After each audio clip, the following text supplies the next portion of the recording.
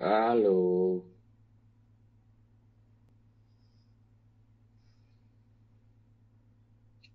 À, các vị có nghe rồi nghe rõ là được rồi.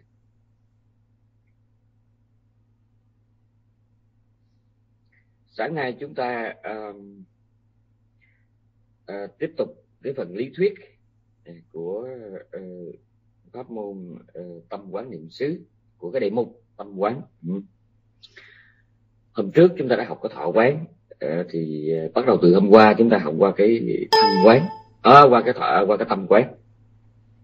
Và giữa cái thân quán và tâm quán nó có một cái mối quan hệ rất là chặt chẽ rất là chặt chẽ. Không có tách rời nhau được. Và chính hai cái đề mục thân quán và à, xin lỗi đề mục thọ quán và tâm quán này là nó là nền tảng cho cái pháp quán. Mặc dù á, là cái pháp quán niệm xứ thì nó bao gồm cả ba cái niệm xứ kia. Nhưng mà đặc biệt á, là cái thọ và cái tâm quán. Ừ.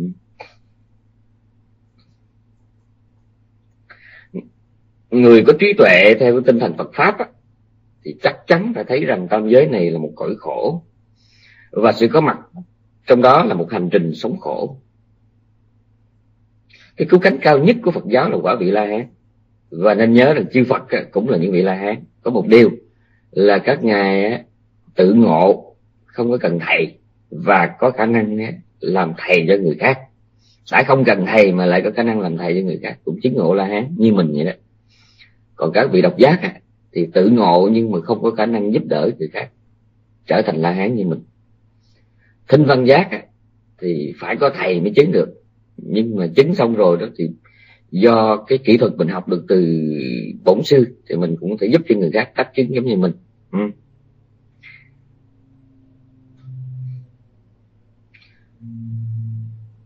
chúng ta có thể nói rằng cái khoảng cách giữa phàm phu á, mà qua cái quả vị thánh nhân đầu tiên là tu đồ quần thì nó rất là xa.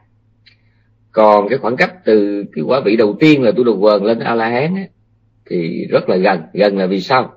Là vì một vị tu đồ quần mà có chậm nhất đi nữa đó thì cũng bảy kiếp là phải trở thành la hán.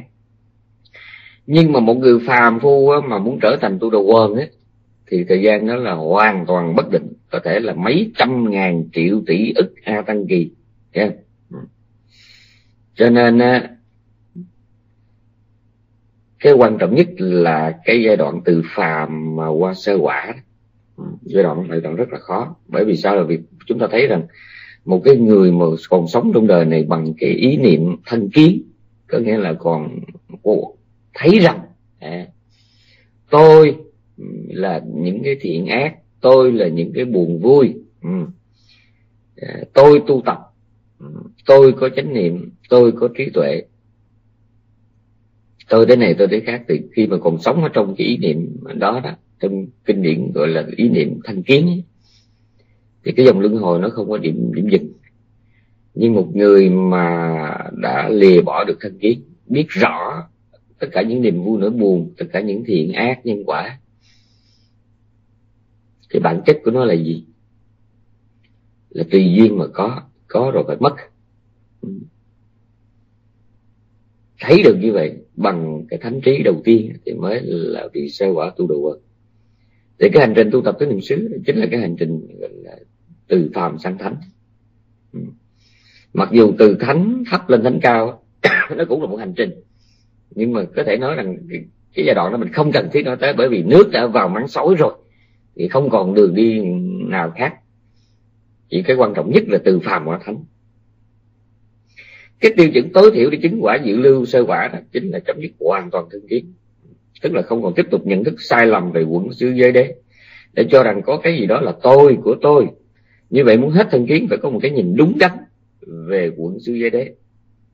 Tức là có cái nhìn đúng đắn về những gì mà xưa nay mình vẫn cứ cho là mình là của mình. Tất cả thế giới và chúng sinh trong đời không nằm ngoài hai thứ danh sắc người không học lời phật ấy, thì chỉ biết thế giới này qua cái vẻ ngoài của nó à, như là cái bản chất của thế giới này mình biết qua khoa học hoặc là qua những kiến thức dân gian yeah. rồi chúng ta phải bị ám ảnh liên tục yeah. trong vô số kiếp luân hồi bởi những cái hình dáng rồi những cái màu sắc và những khái niệm về không gian và thời gian rồi cùng là bao nhiêu thứ khái niệm áp đặt khác cái từ chuyên môn gọi kiểu hiểu biết đó, đó gọi là cái biết qua chế định hay là cái biết qua tục đế cái biết của một người học Phật tu Phật á, phải cao, phải sâu hơn vậy rất nhiều. Bằng cách là xuyên qua cái lớp võ tục đế để hiểu được bốn vấn đề. Chân đế là tâm tâm sở. Tâm sở, sắc pháp và niết bàn. Phải hiểu đúng cái bản chất của thế giới. Thí dụ như, chẳng hạn như về niết bàn, chỉ có thánh nhân mới hiểu được, nhưng mà mình là phàm phu, ít ra mình cũng phải có một cái khái niệm. Đó là sự vắng mặt của phiền não.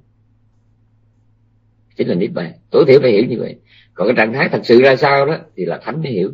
Nhưng mà mình vào vô ít ra mình cũng phải biết như vậy. Chứ còn mà mình hoàn toàn mù tịch về cái cứu cánh mà mình hướng đến thì chuyện hay lạ.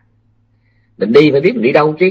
Ừ, đi đi đâu. Ví dụ như bây giờ tôi muốn đi qua nhật, thì tôi chưa từng biết cái khí hậu, phong cảnh ừ, con người ừ, cái thức ăn, rồi văn hóa, nghệ thuật gì của nhật tôi biết. Mà ít ra tôi phải biết nhật là một cái đất nước văn minh ở châu á.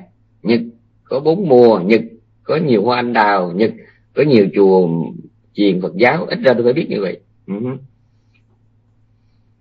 chứ còn nói rằng chưa đi, chưa biết thì kẹt quá uh-huh. Ừ. trong cái phần hướng dẫn này đó, thì ờ, chúng ta nhắm tới cái thần thánh đầu tiên trong bốn thần thánh là tu đùa và cái con đường hành trì dẫn đến thần thánh là cũng chỉ là trong trong cái bài này đó, thì chúng ta nhắm tới hai niệm xứ, đó là là thọ quán và tâm quán. Phần thọ quán học rồi bây giờ của nó là phần tâm, tâm quán. Nói đến cái dòng luân hồi nói chung và nói đến cái đề mục tâm quán thọ quán nói riêng chúng ta không thể nào mà không nhắc đến cái hệ thống giáo lý duyên khởi tức là duyên sinh. Uh-huh. tức là thập nhị nhân duyên đó. Thức quẩn và thọ quẩn luôn đi chung với nhau nên pháp tu tâm quán và thọ quán gần như là một tu cái này cũng gần như là tu cái kia cùng lúc. Và để hiểu được hai quẩn này thì không thể không nhắc đến giáo lý duyên khởi. Chẳng hạn như do dựa vào cái thần kinh thị giác và cảnh sắc à, mà nhận thức có mặt. Ba cái thứ này cộng lại gọi là nhãn xúc. Tôi nói chậm lại nha.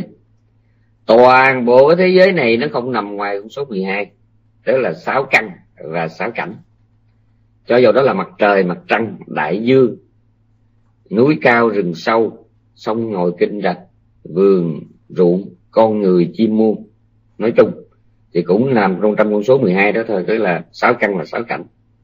Cho nên chúng ta phải nắm thật chắc thật vững à, về cái con số 12 này. À, tôi nhắc lại. Do có cái thần kinh nhìn thần kinh thị giác và cái cảnh sắc tức là cái mà mắt mình thấy được đó từ hình dáng tới màu sắc nói chung thì do có cái thần kinh thị giác do có cái, cái cảnh sắc mà nhãn thức tức là cái biết của con mắt nó mới có mặt. Mà ba cái thứ này cộng lại gọi là nhãn xúc. Do có nhãn xúc nó có nhãn thọ. Từ cái nhãn thọ tức là cái cảm giác lúc mình nhìn á nó mới có cái sắc ái có nghĩa là nó mới có cái niềm đam mê ở trong cái hình ảnh hay là màu sắc hình dáng gì đó. Từ cái đam mê trong cái sắc ái thân ái vân vân thì nó mới có tứ thủ tứ thủ tức là tha mái và tà kiến từ cái tứ thủ á, nó mới có hai hữu có nghĩa là sanh hữu và nghiệp hữu. Sanh hữu à, nghiệp hữu tức là các nghiệp thiện ác nha. Các nghiệp thiện ác. Tức là vì còn có cái tà kiến vì còn có tha mái, cho nên á tôi mới có hai đường tôi đi. Một là tôi thích làm ác. Tôi thích sát sanh tôi thích uh, trộm cắp tôi thích làm chuyện bất thiện để mà rồi cái mai này tôi bị đọa hoặc là có một cách nữa là do còn có tham ái còn có tài kiến nhưng mà trình độ tôi nó khá hơn chút. Cho nên tôi lánh ác làm thiện. Nhưng mà với cái ý đó là mong được hưởng hưởng thụ. À, ở cõi này cõi khác. Thì như vậy đó cái do cái tài kiến mà tham ái trong tứ thủ nó mới dẫn đến hai hữu. Có nghĩa là cái hữu đầu tiên là nghiệp hữu cái là nghiệp thiện ác. Và thứ hai là sanh hữu. Tức là là cái tâm đầu thai được tạo ra từ nghiệp thiện ác từ có cái tâm đầu thai này nó mới dẫn đến cái chuyện đi tái sinh. Cảnh này, cảnh nọ, và từ đó nó mới có là sầu bi, khổ, ưu não. Thương phải xa, ghét phải gần, muốn mà không được. Ừ, thì tất cả những cái khổ này nè, nó lại có từ cái chuyện mình có, mình tái sanh. Do có sự tái sanh nó mới có mấy cái khổ đó. Ừ đó là nói về về cái thần kinh thị giác và đối với các cái, cái căn còn lại cũng vậy. Nhĩ tỷ thiệt thân ý cũng y chang như vậy. Chẳng như mà nói về ý đi. Thì do mình thích à, mình chán dục cảnh dục mà mình thích tu thiền. Cho nên mình mới chứng thiền rồi từ đó mình mới đi về cõi phạm thiên mình ở ở hết. Cái, cái tuổi thọ trên đó rồi mình lại rớt xuống cái cõi dục tiếp tục như cũ nha. Cái quẩn quanh như vậy quẩn quanh như vậy. Ừ tức là cái tâm mình thích cái gì mình hướng tới cái đó hạ hướng tới cái cảnh dục thì quẩn quanh trong, trong cái cõi dục. Thích trong cảnh thiền sắc thì mình quẩn quanh trong cái cõi thiền sắc. Mà thích trong cái cõi thích trong cái thiền vô sắc thì mình quẩn quanh trong cõi vô sắc. Nhưng cuối cùng khi mà hết tuổi thọ ở những cảnh giới đó rồi chúng ta phải trở về cái đơn vị gốc. Có nghĩa là cái cảnh giới thấp nhất đó là dục giới. Mà trong dục giới cái gì thấp nhất đó là bốn cõi khổ. Là vì sao vậy? Vì sao những cái này được gọi là gọi là đơn vị gốc? Là bởi vì gốc này có nghĩa là chúng ta không cần cố gắng gì hết, là tự nhiên nó sẽ rớt ngay chốc, cái đó gọi là gốc. Còn những cái cõi mà nhân thiên thì phải có chút cố gắng mới được. Cho nên nó được gọi là gốc. Còn gốc có nghĩa là dầu muốn dầu không thì mình cũng chỉ cần mình lơ đến cái làm lọt trở về liền đó gọi là gốc. Nhớ nha. Một hành giả tu tập pháp môn tâm quán hay là thọ quán thì chỉ cần có chút kiến thức sơ đẳng về a thì đà thì hoàn toàn có thể đọc hiểu được cái đoạn đọc hiểu được cái chánh tạng cái đoạn chánh chánh chánh văn kinh tứ niệm xứ ha trong tâm tạng. Còn nếu mà không có một cái kiến thức tối thiểu về a thì đàm thì đọc cái chánh kinh uh, tứ niệm xứ hơi khó. À, nếu không muốn nói là không hiểu. Yeah. nhờ có cái kiến thức a thì đàm thì chúng ta mới hiểu rõ về thức quẩn về thọ quẩn. Thức quẩn là gì gồm những gì do nhân duyên nào mà có. Đối với thọ quẩn cũng vậy với cái khả năng nhận thức này nè, thì hành giả sẽ không có, sẽ không có cách chi mà thấy được bất cứ cái gì mà có thể gắn liền với tôi và của tôi. Cái biết của sáu thức, cái sự có mặt của sáu xúc, sáu thọ đều là nhờ dựa vào nhiều điều kiện nhân duyên mà có. Và tất cả chỉ tồn tại trong mỗi cái nháy mắt rồi diệt đi. Hành giả cũng thấy rằng ba thọ khổ lạc, xả đó, khi mà không được niệm và tuệ kiểm soát, sẽ trở thành điều kiện cho sáu ái có mặt. À có nghĩa là khi mình không sống không có chánh niệm á mình thấy mình nghe mình ngửi mình nếm cái gì đó thì một là mình thích hai là mình không thích. À, mà không thích á, thì là tâm sân. À, mình không thích là bắt đầu mình bất mãn. Và nếu mình thích á, thì là tâm tham. Như vậy thì đó là lý do mà vì sao mình thấy ở trong kinh tứ niệm xứ đức phật có nhắc đến hai cái chữ tham ưu. Ở đây vị tỷ kheo à, tinh cần tỉnh giác chánh niệm quán thân trên thân. Dạ, để diệt trừ tham ưu ở đời. Ừ. Diệt trừ tham ưu có nghĩa là một là thích hai là bất mãn. Dạ. Đó là tham và sân còn si ngài không có nhắc là bởi vì sao? Là vì si nó nó luôn luôn nó đi kèm. À, ở đâu có tham ở đâu có sân là có si nó, nó, nó tàn ẩn bên dưới. Cho nên ngài có nhiều khi ngài không cần nhắc tới làm chi nha à, ờ, cho nên hành giả thấy rõ rằng ba thọ khi không được niệm và tuệ kiểm soát thì sẽ trở thành điều kiện cho sáu ái có mặt ái và kiến mạnh hơn một chút thì gọi là thủ. Từ tứ thủ mới có tam nghiệp thiện ác. Đó là thân nghiệp bất thiện khẩu nghiệp bất thiện ý nghiệp bất thiện. Hoặc là thân thiện nghiệp khẩu thiện nghiệp và ý thiện nghiệp. Do có tam nghiệp thì mới có cái tâm đầu thai vào các cảnh giới. À, rồi do có cái tâm đầu thai đó thì nó mới có đời sống. Đời sống ở cái cảnh này cảnh kia đời sống của con trùng con dế con ruồi con mũi con dồi con sâu. của chư thiên phạm thiên ừ. hoạt động của sáu căn á nó giống hệt nhau và hoạt động của các tâm thiện ác cũng giống hệt nhau bên ác pháp á, thì ba thọ tức là ba cảm giác á, nó trợ duyên cho cho ái hả? còn bên thiện thì ba thọ nó trợ duyên cho năm năm quyền ừ. có nghĩa là khi mà mình sống không có chánh niệm ấy không có trí tuệ á thì cái cảnh mà bất toại hay là cảnh như ý gì nó sẽ là cái điều kiện cho phiền não xuất hiện còn nếu mình sống có tuệ có, có niệm á thì các cảnh những gì mình thấy mình nghe ngửi nếm đụng nó sẽ là cái điều kiện cho cái thiện pháp có mặt. Thí dụ như bây giờ là người ta nhìn cái lá rơi. Ta chỉ thấy là cái lá rơi thôi nhưng mà mình nhìn á thì mình biết là mình đang nhìn. Hoặc là mình biết ừ vạn sự ở đời cái gì cũng vô thường như chiếc lá lá do duyên mà có duyên nó mãn rồi thì lá nó rụng về đất. Thì trong cái nhìn nhận thức trong cái nhìn mà hiểu biết như vậy trong cái nhận thức mà sáng suốt như vậy thì đó được gọi là thiện tâm. Còn mình nhìn một chiếc lá mà mình hồi tưởng là một cái chuyện buồn vui cũ để rồi tham để rồi sân ấy, thì đó là lúc bây giờ cái lá nó trở thành ra là cái điều kiện cho cái thọ ưu hay là thọ hỷ của phiền não. Nhớ nha. Ừ. hành giả đó sẽ thấy khi mà tu tập thọ quán và tâm quán sẽ thấy được rằng thiện ác và sanh tử gắn liền với sáu căn trong mỗi khoảnh khắc. Khoảnh khắc nha. Gắn liền là sao? Có nghĩa là mình hồi đó giờ mình nghe nói sanh tử mình cứ nghĩ là chết kiếp này qua kiếp khác mới gọi là sanh tử. Nhưng mà thật ra đó, mình thấy cái vấn đề sanh tử ở hành giả đó họ thấy ngay trước mắt. Ví dụ như họ thấy mình thích cái gì đó họ nói rồi đây là nhân sinh tử. Họ thấy mình thích cái gì đó dù thích một cái âm thanh hay là một cái hình ảnh một cái màu sắc gì đó họ biết liền biết ở đây là nhân sinh tử nha. Anh giả thấy được rằng thiện ác và sinh tử gắn liền với sáu căn trong mỗi khoảnh khắc. Anh giả thấy được cả hệ thống duyên khởi diễn ra trong từng phút chứ không phải đợi đến đời sau kiếp khác. Người không học giáo lý đó chỉ học sơ sài về, về lý thuyết tuệ quán thì chỉ biết mơ hồ danh sắc thiện ác thôi. Mà người có học giáo lý mà lại có hành trì nữa đó thì sẽ biết sâu hơn rộng hơn chi tiết hơn biết cái gì là sắc quẩn thọ quẩn tưởng quẩn hành quẩn tưởng quẩn. Cái nào là nhân quá khứ cái nào là quả hiện tại. À, ví dụ như bây giờ mình thấy mình thích nè. Đó chính là nhân nhân sinh tử. Mình nhìn thấy cái gì đó mình biết ở đây là tâm nhãn thức nè. Mình nghe cái gì đó mình biết ở đây là tâm nhãn thức nè. Thì khi mà tha, mình mình liếc qua cái tham á mình nhìn mình quán chiếu mình mình, mình mình theo dõi mình biết cái tham vừa xuất hiện thì biết ở đây là nhân sinh tử. Nhưng mà cái thấy cái nghe đó nó chính là quả sinh tử. Nhớ nha. À, nhớ nha. Thấy và bản thân cái thấy bản thân cái nghe ngửi nếm đụng thì cái biết đó là sáu cái biết đó là sáu cái biết của của quả. Tức là sáu căn đời này nó có là do sáu ái đời trước. Còn từ sáu căn này mà nó có phiền não này nọ nó thích hay là ghét thì thì cái thích ghét đó lại là nhân nhân sanh tử cho đời sau để kiếp sau mình tiếp tục mình có sáu căn nữa để tiếp tục sanh tử nữa nha do có phiền não trong sáu trần á, cho nên mình mới tiếp tục mới có sáu căn. Còn sáu căn của a nó với b nó khác nhau ở điểm nào? Nó khác chỗ khác nhau chỗ là cả hai đều thích trong sáu trần cho nên đời này mới có sáu căn.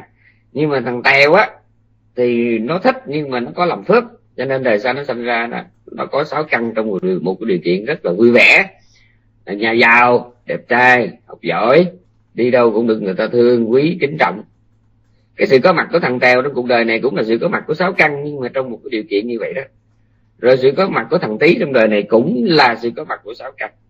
Nhưng mà thằng tý à, nó bên cạnh cái tham ái trong sáu căn nó không có tạo các cái nghiệp thiện ha cho nên nó sinh ra đó, cái sự có mặt của nó cũng là sự có mặt của sáu căn, nhưng mà trong một điều kiện sống rất là khốn khó ví dụ như một người sinh ra ở thụy sĩ có nhà giàu được ăn học đàng hoàng thì cái sự có mặt của một cái cái cô chiêu cậu ấm thụy sĩ cũng là sự có mặt của sáu căn nhưng mà trong một điều kiện rất là ok.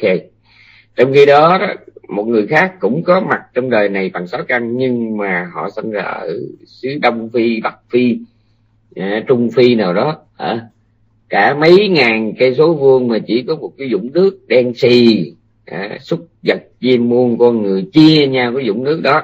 Ừ. ăn thì ăn tầm bậy tầm bạ côn trùng củ rễ có gì thì nhét vô mầm cái đó nha. Đói khát xanh lè xanh lét suy dinh dưỡng đầu óc không phát triển. Lúc nào cũng nghĩ tới cái ăn thôi nha. Thì như vậy họ cũng sống ở trong. À, họ cũng chỉ sống ở trong trong trong cái sự có mặt của sáu căn nhưng mà do thiếu phước cho nên là cái sáu căn đó nó có mặt trong một cái điều kiện rất là là cũng khó nha. Cái đó nhớ cái đó. Chỉ riêng việc quan sát hệ thống duyên khởi trong từng căn à, lúc mà chúng làm việc á, thì hành giả sẽ có dịp hiểu được cái dòng luân hồi của mình nó diễn ra như thế nào. À, tức là bây giờ tôi nhìn tôi thích tôi nghe tôi thích thì đó là cái nhân sinh tử ở cõi dục nhưng mà nếu mà bên cạnh cái thích đó mà tôi còn làm phước này phước kia đó, thì mai này tôi trở lại cảnh dục trong một cái điều kiện dễ chịu, nha. Còn nếu mà tôi thích này thích kia mà tôi lại không có tạo phước thì tôi sanh sẽ sanh ra trong cõi dục, nhưng mà trong một cái điều kiện rất là rất là khốn khó. Ừ. mà nhận, để nhận thức được cái đó một cách liên tục thì anh bắt buộc phải có chánh niệm, anh phải có trí tuệ. Tôi nhắc lại, khi nhìn, biết là đây là tâm nhãn thức khi nghe biết là đây là tâm nhĩ thức, đó là tu tập tâm quán niệm xứ, nha. Và sâu hơn một chút nữa, đối với một hành giả có học hỏi giáo lý thì khi mà hành giả biết đây là tâm nhãn thức thì hành giả cũng ngầm biết rằng đây là cái tâm quả từ cái nhân quá khứ, nhân tham ái quá khứ, nha. Rồi còn đằng sau cái nhìn đó mà mình thích này thích kia đó thì cái thích đó lại là nhân sinh tử cho đời sau kiếp khác. Trong rừng muốn nghe kịp không ta? Sáu căn đời này là quả của tha mái đời trước. Mà tha mái đời này là nhân cho cái sáu căn đời sau. Nhớ nha đó là một chuyện. Còn cái chuyện mà sáu căn đời sau của anh đó mà nó có mặt trong cái điều kiện như thế nào đó thì cái đó nó lại tùy vào cái chuyện anh làm phước hay làm tội nhiều nha. Tôi cũng thích sáu trần quý vị cũng thích trong sáu trần nhưng mà tôi bên cạnh cái chuyện thích đó, đó tôi làm toàn là chuyện là bậy không à. Nói bậy, nghe bậy, nghĩ bậy, gieo khổ cho mình, gieo khổ cho người. Ừ. thì đời sau sinh ra tôi cũng có sáu căn. Bởi vì tôi có sáu ái mà. Tôi có sáu căn. Nhưng mà sáu căn đời sau của tôi, nó có mặt trong một cái điều kiện rất là khổ. Còn quý vị cũng thích sáu trần cho nên đời sau cũng có sáu căn. Nhưng mà bên cạnh cái thích đó, quý vị còn làm phước này phước kia, cho nên đời sau sinh ra có sức khỏe, có ngoại diện, có nhân dáng ngon lành. Dạ, học hành thông minh. Ừ, có gia thế, có tài sản, có uy tín xã hội, có được tình cảm của mọi người, nha. Nhưng mà giàu khổ hay sướng thì cũng chỉ là sự có mặt của sáu căn. Và nếu đời sau kiến khác mà tôi và quý vị tiếp tục thích trong sáu căn nữa, thì tiếp tục tạo ra sáu căn cho một đời khác nữa, nha. Uhm. cho nên nó là có tu tập thọ quán tâm quán thì mình mới trong từng phút thấy được cái nhân sinh tử và cái quả sinh tử ở đâu nha. Sáu căn á, nó là quả sinh tử. Còn phiền não từ sáu căn, nó là nhân sinh tử. Tôi nhớ nhiều đó thôi. Không là hành giả, cũng không học giáo lý duyên khởi, thì một người mẹ làm sao mà có thể hình dung được là mình đang bắt đầu một cái vòng tròn duyên khởi ngay từ lúc nghe tiếng gọi của cậu con trai mới đi học về. Các vị nghe kịp không? Nếu mà không là hành giả nè, mà cũng không học qua giáo lý duyên khởi, thì một người mẹ làm sao mà có thể hình dung được là mình đang bắt đầu một cái vòng tròn duyên khởi ngay từ lúc nghe tiếng gọi của cậu con trai mới đi học về. Nghe tiếng ở ngoài cửa, hay vừa nhìn thấy gương mặt của nó thì người mẹ đã có thể cùng lúc dấy lên hai cái cảm xúc. Là e ngại con nó đang mệt mỏi và cái niềm tin yêu muốn ôm hùng nó, muốn hỏi nó một câu gì đó, muốn mắng yêu nó. Việc này trên quan điểm xã hội và pháp luật thì hoàn toàn là điều tự nhiên, không có gì lầm lỗi.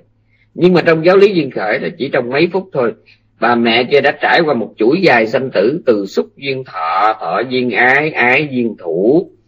Đối với mọi hoạt động khác của ta trong đời sống, kể cả một hành giả tinh tấn nhất cũng nằm trong cái dòng chảy của luật duyên khởi, một tên gọi khác của lý nhân quả nha. Trong kinh cũng xác định rằng ngay đến vị chánh đẳng giác cũng không thể chặn đứng được cái dòng chảy đó, dùm bất cứ ai. Chặn dùm ai nó không có.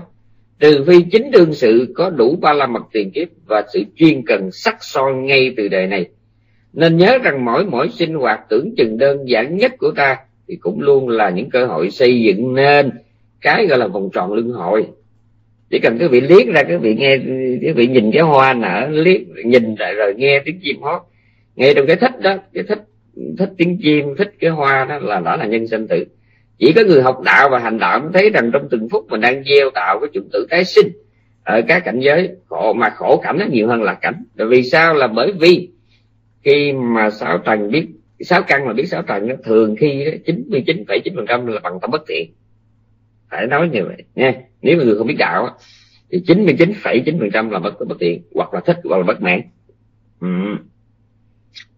đó là lý do tại sao mà sáu sáu căn mà biết sáu tầng là toàn là gieo cái nhân khổ không à, lời vậy đó. Ừ. chỉ có người hành đạo và học đạo mới thấy được rằng mỗi giây phút sáu căn của mình đó, tiếp xúc sáu tầng thiện ác trong đó ra sao? Và sự trên lệch giữa thiện ác của bản thân nó lớn đến chừng nào. Từ đó, cái khả năng đau khổ của ta luôn nhiều gấp, nhiều lần cái khả năng an lạc. Và tôi nhớ tôi đã nói không biết là bao nhiêu lần. Mỗi người sinh ra trong đời này là có một cái tay thuận và một tay không thuận. Có người thì thuận tay trái, có người thì thuận tay mặt, tay phải đó, nha. Và tôi nhắc lại, mỗi người đều có một cái tay thuận và tay không có thuận. Thí dụ như tôi là tôi thuận tay phải còn có người thì họ thuận tay trái. Và đó là về sinh lý, còn về tâm lý thì mỗi người cũng có hai khả năng. Thuận và không thuận. Có người thì có cái khả năng thiện, nó mạnh hơn ác. Có người, và từ đó, cái khả năng lại khiến mình e an lạc nó cũng mạnh hơn khả năng khiến mình đau khổ. Nhưng mà ngược lại có những người, cái khả năng mà khiến mình đau khổ nó lớn hơn cái khả năng khiến mình an lạc. Trong đó nghe kịp chỗ này không? Người nói về cách sinh lý mình có hai tay có tay thuận và tay không thuận. Và tâm lý cũng vậy mình cũng có cái chỗ thuận và chỗ không thuận. Người tu tập nhiều đời nhiều kiếp á, thì cái khả năng mà khiến mình an lạc á, nó nhiều hơn là khiến mình đau khổ. Nhưng mà trong đời này của tôi tôi đã tiếp xúc nhiều người. Tôi thấy hình như ở họ cái khả năng mà tự khiến mình khổ nó nhiều hơn khiến mình an lạc. Bằng chứng là họ có chuyện phiền họ gọi phone cho tôi. Tôi đã giải thích tôi đã phân tích tôi đã chia sẻ, tôi đã đồng cảm đủ cách với họ bằng Phật pháp. Mà các vị biết không? Họ cứ đợi mà tôi vừa ngưng nói một giây là họ chen rồi. Họ tìm đủ mọi cách để họ cãi. Để chi? Họ cãi cho thấy rằng cái cái giận của họ, cái phiền của họ nó rất là hợp lý. Giá. Yeah. mà tôi tin chắc trong đêm này quý vị đã từng gặp những người như vậy rồi. Họ đang giận hoặc là họ đang buồn, họ đang lo cái gì đó thì mình mới lên tiếng mình giúp họ thì họ nhờ mình chứ không phải ai mà mà, mà, mà quở đâu mà, mà, mà thò cái mũi vô chuyện người ta. Mà đấy người ta tới người ta cần lắng nghe mình cái mình mới chia sẻ với họ. Tưởng sao? Nghe nó đang nghe mà cứ canh cho mình mà chỉ cần mình mà bị đứt hơi một cái là anh chen vô là anh tiếp tục anh củng cố. À, cái đó um, biết chứ biết biết. Đúng rồi cái đó là kinh nói vậy nhưng mà hoàn cảnh này thì đối với tôi là cái gì phải thì thôi à, cái gì phải thì thôi cái tấm tôi là như vậy là tôi không có chịu gì tao lắm mà mình đã nói tới nó luôn mà cứ quần quần cái nhiều như vậy là họ là cái người có cái khả năng ừ, làm khổ mình nhiều hơn là khả năng ăn lạc. Trong khi những người có tu tập có quân tu có hàm dưỡng nhiều đời đó khi mà khổ tâm là bị phiền não cái gì đó chỉ cần nghe người ta nhắc cái là mừng muốn chết luôn người ta chụp cái phao đó liền. Còn cái, cái người mà thiếu phước thiếu duyên thiếu trí đó là cứ tìm mọi cách để bảo vệ cái khổ của mình. Nha bảo vệ cái khổ của mình thì cái đó chịu thua. Nha. À, có rất là nhiều người miến điện ấy được giới thiệu về tầm quan trọng của giáo lý duyên sinh và duyên hệ. Nhưng mà thay vì tìm hiểu ý nghĩa sâu sắc của hai hệ thống giáo lý này qua ánh sáng qua thì đàm thì họ chỉ học thuộc lòng hai bài tụng duyên sinh và duyên hệ để đọc mỗi ngày cầu phước. Mà nếu đơn giản như vậy thì họ không có cách nào hiểu được giá trị thật sự của hai hệ thống duyên giáo lý đó đó là sự lìa bỏ ngã chấp và tà kiến. Ừ. mà mấy hôm nay rồi kể cả sáng nay tôi cứ nhắc đi nhắc lại và cái duyên sinh duyên hệ mà biết bà con trong râm còn duyên sinh thì biết là do vô minh duyên hành thì còn duyên hệ, biết bà con còn có nhớ chút ít gì không? Duyên hệ là sao? Duyên hệ là cách thức mà vạn vật ở đời nó trợ duyên, nó hỗ trợ cho nhau. Duyên sinh á, tức là trình bày cái con đường sanh tử của chúng sanh như thế nào còn duyên hệ đó, tức là cái cách thức mà vạn vật ở đời đó nó hỗ trợ cho nhau ra sao. Đó gọi là duyên hệ nha. Cái việc nghe kịp không? Alo tôi nói nha. Thí dụ như đức phật ngày dạy rằng nó có trường hợp các pháp ở đời nó nó hỗ trợ với nhau bằng cách là nó a đó nó làm cảnh cho b. Có lúc a nó giúp cho b bằng cách là nó đóng vai trò của các chi thiền thì gọi là thiền duyên có lúc a giúp cho b bằng các cái chi đạo. À, thì trường hợp đó được gọi là đạo duyên trong trường hợp a nó giúp cho b bằng cách là nó có mặt trước thì gọi là tiền sanh duyên trong trường hợp a nó giúp cho b bằng cách là nó có mặt sau thì gọi là hậu sanh duyên trong trường hợp a nó giúp cho b bằng cách nó cùng có mặt đó, thì câu sanh duyên bất ly duyên, hiện hữu duyên. Nhưng mà cũng có lúc a nó giúp cho b bằng cách là nó vắng mặt.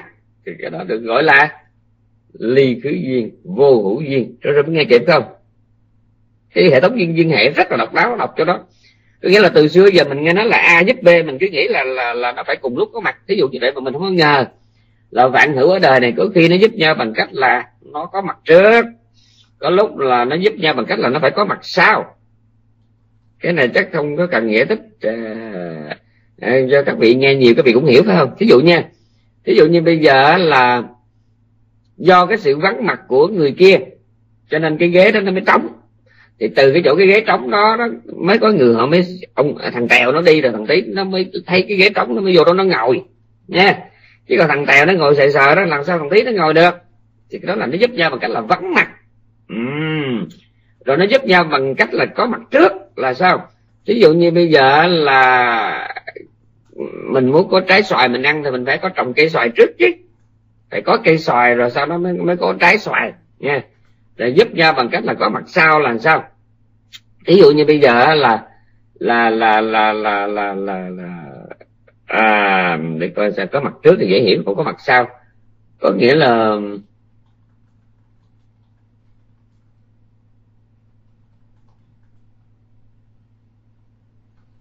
Ừ, để tôi tìm cái ví dụ. À, giúp nhau bằng cách có mặt trước thì hiểu rằng giúp nhau bằng cách có mặt sau. Ví dụ như bây giờ là tôi nói thì hơi xấu hổ nha. Có nghĩa là tôi rất là là lười dọn dọn dọn dọn nhà rất là, là lười dọn phòng nha. Nhưng mà bữa đó nhà tôi có khách có chư tăng ghé. Năm bảy vị có phật tử cư sĩ nữa. Thì tôi có nhắn một người quen ở đây tôi nói chư tăng đến thăm tôi xong rồi chư tăng đi về thăm bà. Và tôi cũng đi theo luôn.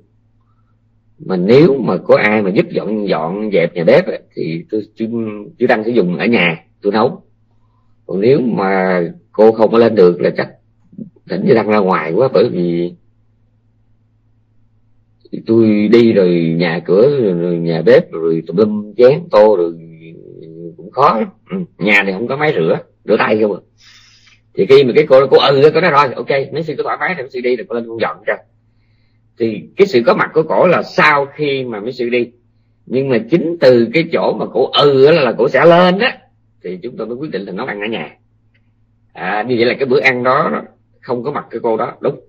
Nhưng mà nhờ cổ ừ là cổ sẽ có mặt. Cho nên là mấy sư mới dám ăn ở nhà nha và cái đống chén dơ trong nhà đó, nó có mặt là do cái tiếng ừ đó của cổ thì vì như vậy trường hợp nó được gọi là hậu sinh duyên, tức là nó giúp bằng cách là nó có mặt sau. Thí dụ như vậy. Duyên hệ là vậy đó. Tức là a giúp cho b bằng cách là có mặt trước, a giúp cho b bằng cách là có mặt sau. A giúp cho b bằng cách là cùng có mặt, a giúp cho b bằng cách là vắng mặt. A giúp cho b bằng cách là làm cảnh cho b. A giúp cho b bằng cách là đóng cái vai trò chi thiền, chi đạo a giúp cho b bằng cách là đóng vai trò của nghiệp gọi là nghiệp duyên. A giúp cho b bằng cách là đóng cái vai trò dẫn đầu được gọi là trưởng duyên. A giúp cho b bằng cách là tiếp nối không rời được gọi là vô gián duyên nha. Ừ. thì cái đó gọi là duyên hệ nha. Còn cái duyên sinh là giải thích cái con đường luân hồi mình nó được hình thành như thế nào. Còn cái kia là các pháp hỗ trợ nhau à, ra sao để nó gọi là duyên hệ rất là đặc biệt. À. ok trong vô số kiếp luân hồi phàm phu chúng ta chỉ quen sống chìm sâu trong các khái niệm tục đế. Tôi rất là mong mỏi là vào cái quý đầu tiên của năm 2007 cái cuốn sách này nè được in. À, được in. Thì bà con mà lặn cái cuốn này đó là một người muốn học a tỳ đàm cũng cần nó mà cái người mà muốn đi tu tới điểm xứ cũng rất là cần nó. Tôi rất là mong là không có chứng duyên. Ừ, hôm qua um, có một người quen của tôi ở bên châu âu á họ bao nhiêu bài vở của tôi là, là khi tôi dịch á thì, thì gửi hết vậy đâu tôi biết là họ đã làm mất cái hạt trai đó mà hạt trai đó chính là cái nội dung cuốn sách mà mình sắp in và quý vị đang học đây. Quý vị biết khi mà tôi nghe như vậy nó là tôi không biết phải tả làm sao bởi vì bây giờ mà cái quỷ đó nó mất rồi đó thì tôi không, bây giờ mà ngồi mà dịch lại đó là chỉ có chết thôi. Thì cuối cùng họ gọi phone họ báo họ đã tìm thấy rồi. Và cái người mà nhặt được cái đó họ không biết cái hạt ra đó là cái gì bởi vì cái người đó hoàn toàn mù tịch về computer về internet. Cho nên bà đã đem bà luyện như trong một cái ngăn thức ăn của nhà bếp ba cái mì khô bún khô gì đó bà luyện hết trong cái bao. Nói chung bà lấy cái đó bà thấy nó nằm trong cái bao bà lấy cái bao đó bà luyện như trong đó rồi cuối cùng khi mà cái bà này bắt đi bà hỏi được là bà tìm ra cả mấy ngày bắt môi ra được thì bà báo tin cho tôi biết tôi thở một cái kỳ nha. Tôi nghèo thiệt nhưng mà nói thiệt bây giờ tôi mất ờ, một ngàn đồng tôi không có có mà, mà hết hồn bằng mất cái đó vì mất cái đó là tôi không biết phải làm sao chỉ có chết thôi nha chết thôi.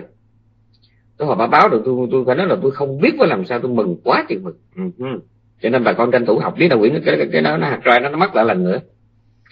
Trong vô số kiếp luân hồi phàm phu ta chỉ quen sống chìm sâu trong khái niệm tục đế về chúng sinh về không gian về thời gian. Và vạn vật nên từ đó chỉ sống quẩn quanh trong sự chi phối của vô minh và thần ác. Hai phiền não này là nguồn cội luân hồi. Muốn phá vỡ chúng thì chúng ta bắt buộc phải học để biết về bản chất chân đế của chúng. Và không cách nào tốt hơn cái việc học và tu niệm xứ trên tinh thần của giáo lý duyên khởi nha trong toàn bộ hệ thống giáo lý duyên khởi, dù lúc học hay là lúc tu, ta không hề thấy bóng dáng một chúng sanh hay là một cá thể nào mà mình có thể gọi là bản ngã, là tôi là của tôi. Từ vô minh đến lão tử là một quá trình sanh diệt của các quận xứ giới. Để người tu tập niệm xứ luôn có dịp để thấm thiết rằng ở đâu có sanh diệt thì ở đó có ba khổ, và ở đâu có ba khổ thì ở đó chắc chắn là vô ngã ở đây chúng ta không cần phải nhắc lại từng chi tiết của giáo lý duyên khởi mà chỉ lấy tinh thần chung mà nói. Giáo lý duyên khởi dầu được bắt đầu từ tứ lậu vô minh hay bất cứ chỗ nào trong 12 chi à, thì cũng chỉ ra một điều rằng cuộc sống của ta nói riêng và dòng luân hồi nói chung là một chuỗi dài tiếp nối liên tục của luật nhân quả. Nhân ở đây có thể là thiện hay bất thiện và quả cũng vậy. Như vậy ý nghĩa của chữ nhân quả sâu rộng hơn của lý nghiệp báo nhớ nha ở lý nghiệp báo chỉ có nhân thiện hay bất thiện, còn ở lý nhân quả thì a tác động b trong vai trò nào đi nữa nó cũng được gọi là nhân. Và cái gì được tạo ra từ cái lực tác động đó thì gọi là quả, cho dầu nó là thiện, bất thiện hay vô ký. Cái phần gọi đó là ba cách luân hồi, phiền não luân hồi, nghiệp luân hồi và quả luân hồi. Các vị dò kỹ lại đi vô minh là bất thiện mà cũng là nhân tác động cho hành. Mà hành ở đây là thiện ác có đủ. Mà hành nó là tác động cho cho 32 thức. 32 quả thức, mà quả thức là nó chỉ là vô ký như vậy không một thứ gì trên đời này chỉ là nhân hay quả, và cũng không có thứ gì trên đời này không thể là lực tác động cho cái khác nghe kịp không? Không có cái gì trong đời này mà nó không là nhân hay là không là quả.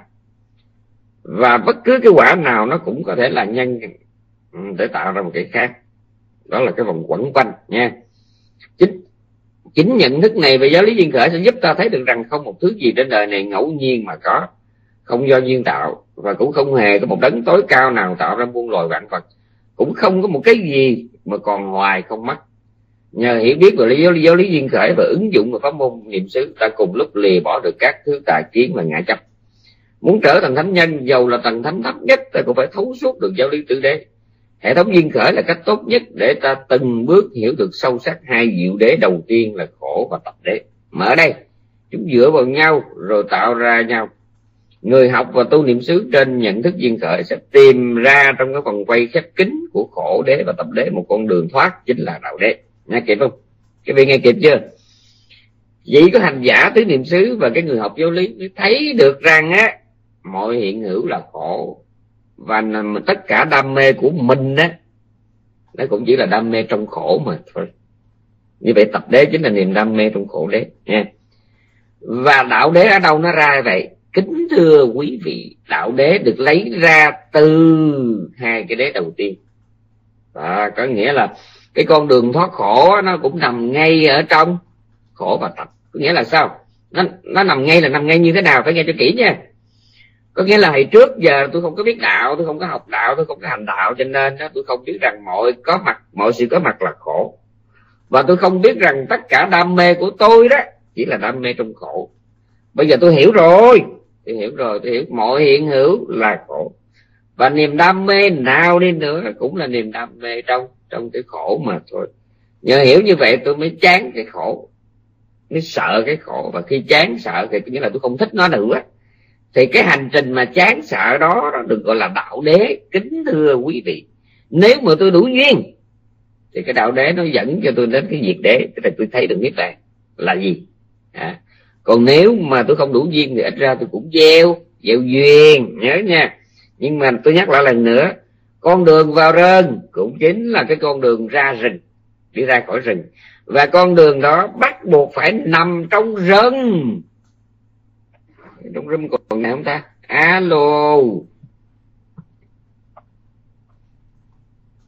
Kỳ vậy ta?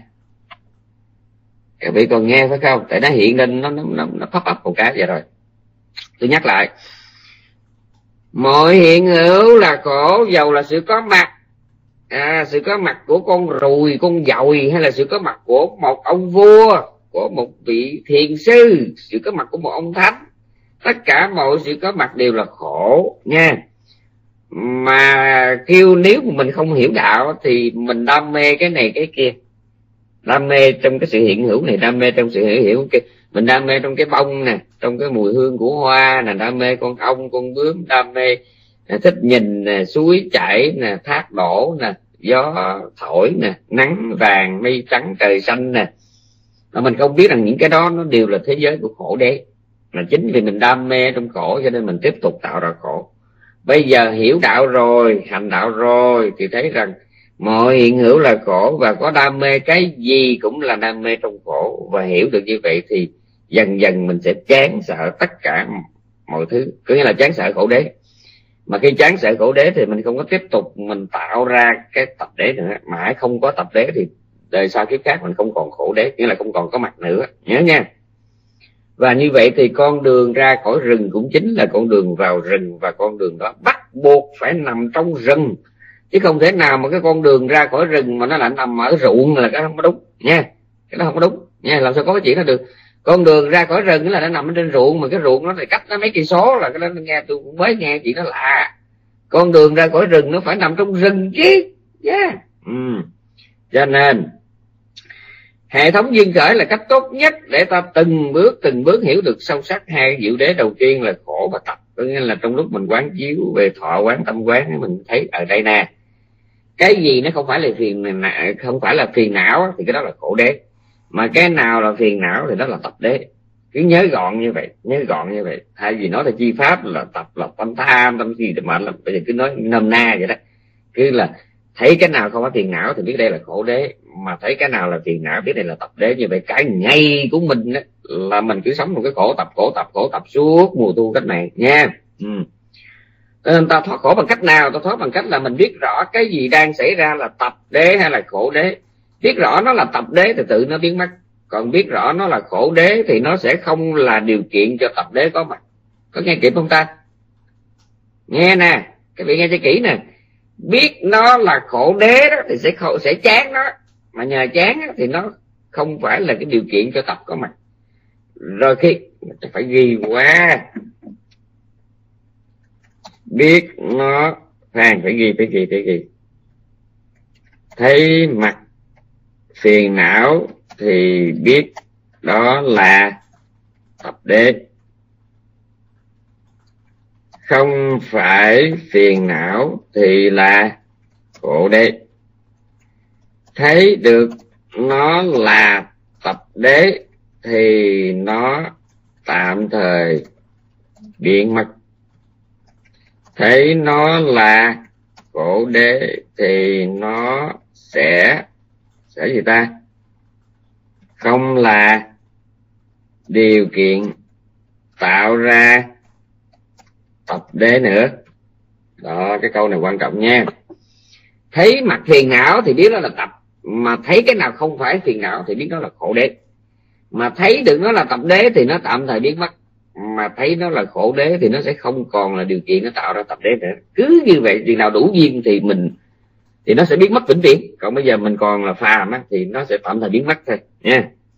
Còn mà hãy mà chứng đủ duyên chứng thâm thì nó sẽ đi luôn. À, nó đi luôn. À, hành giả biết rõ cái gì đang xảy ra là tập hay là khổ đế. Biết rõ đó là tập thì tự nó sẽ biến mất. Biết rõ nó là khổ thì nó sẽ không còn là điều kiện cho tập đế nữa. Tôi lấy ví dụ sáu căn là khổ đế hành giả dùng sáu căn để biết sáu trần bằng niệm và tuệ thì ái sẽ không có mặt. Nha. Cái sự hành trì này bước đầu rất là khó khăn, cực kỳ khó khăn và vô cùng khó khăn. Nha. lâu lâu dần rồi sẽ trở thành thói quen. Và nếu ba làm mặt tròn đủ thì chính thói quen này là cánh cửa giải thoát của hành giả. Tôi nhắc lại, đối với một hành giả tu tứ niệm xứ có học hỏi về 12 duyên khởi học hiểu về 12 duyên khởi, thì trong từng phút vị này sẽ có dịp thấy rõ toàn bộ giáo lý duyên khởi hiển hiện qua sự hiện hữu của mình.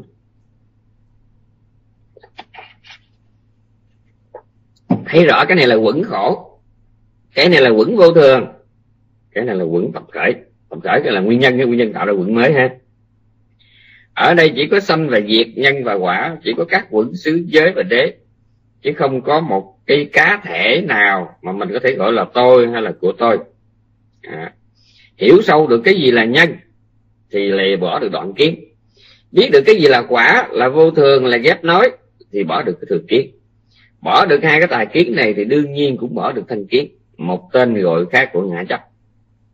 Mà bỏ được hai phiền não này thì các phiền não khác cũng tự dưng được bào mòn. Chúng là ngã, mạng, danh, tị, bổn sẹn sân, hận, dục, ái, vân vân. Sự lìa bỏ phiền não tạm thời của phàm phu như vừa nói trên được gọi là tách đăng gáp a hà tức là trừ phiền não bằng cách đối phó. Nha.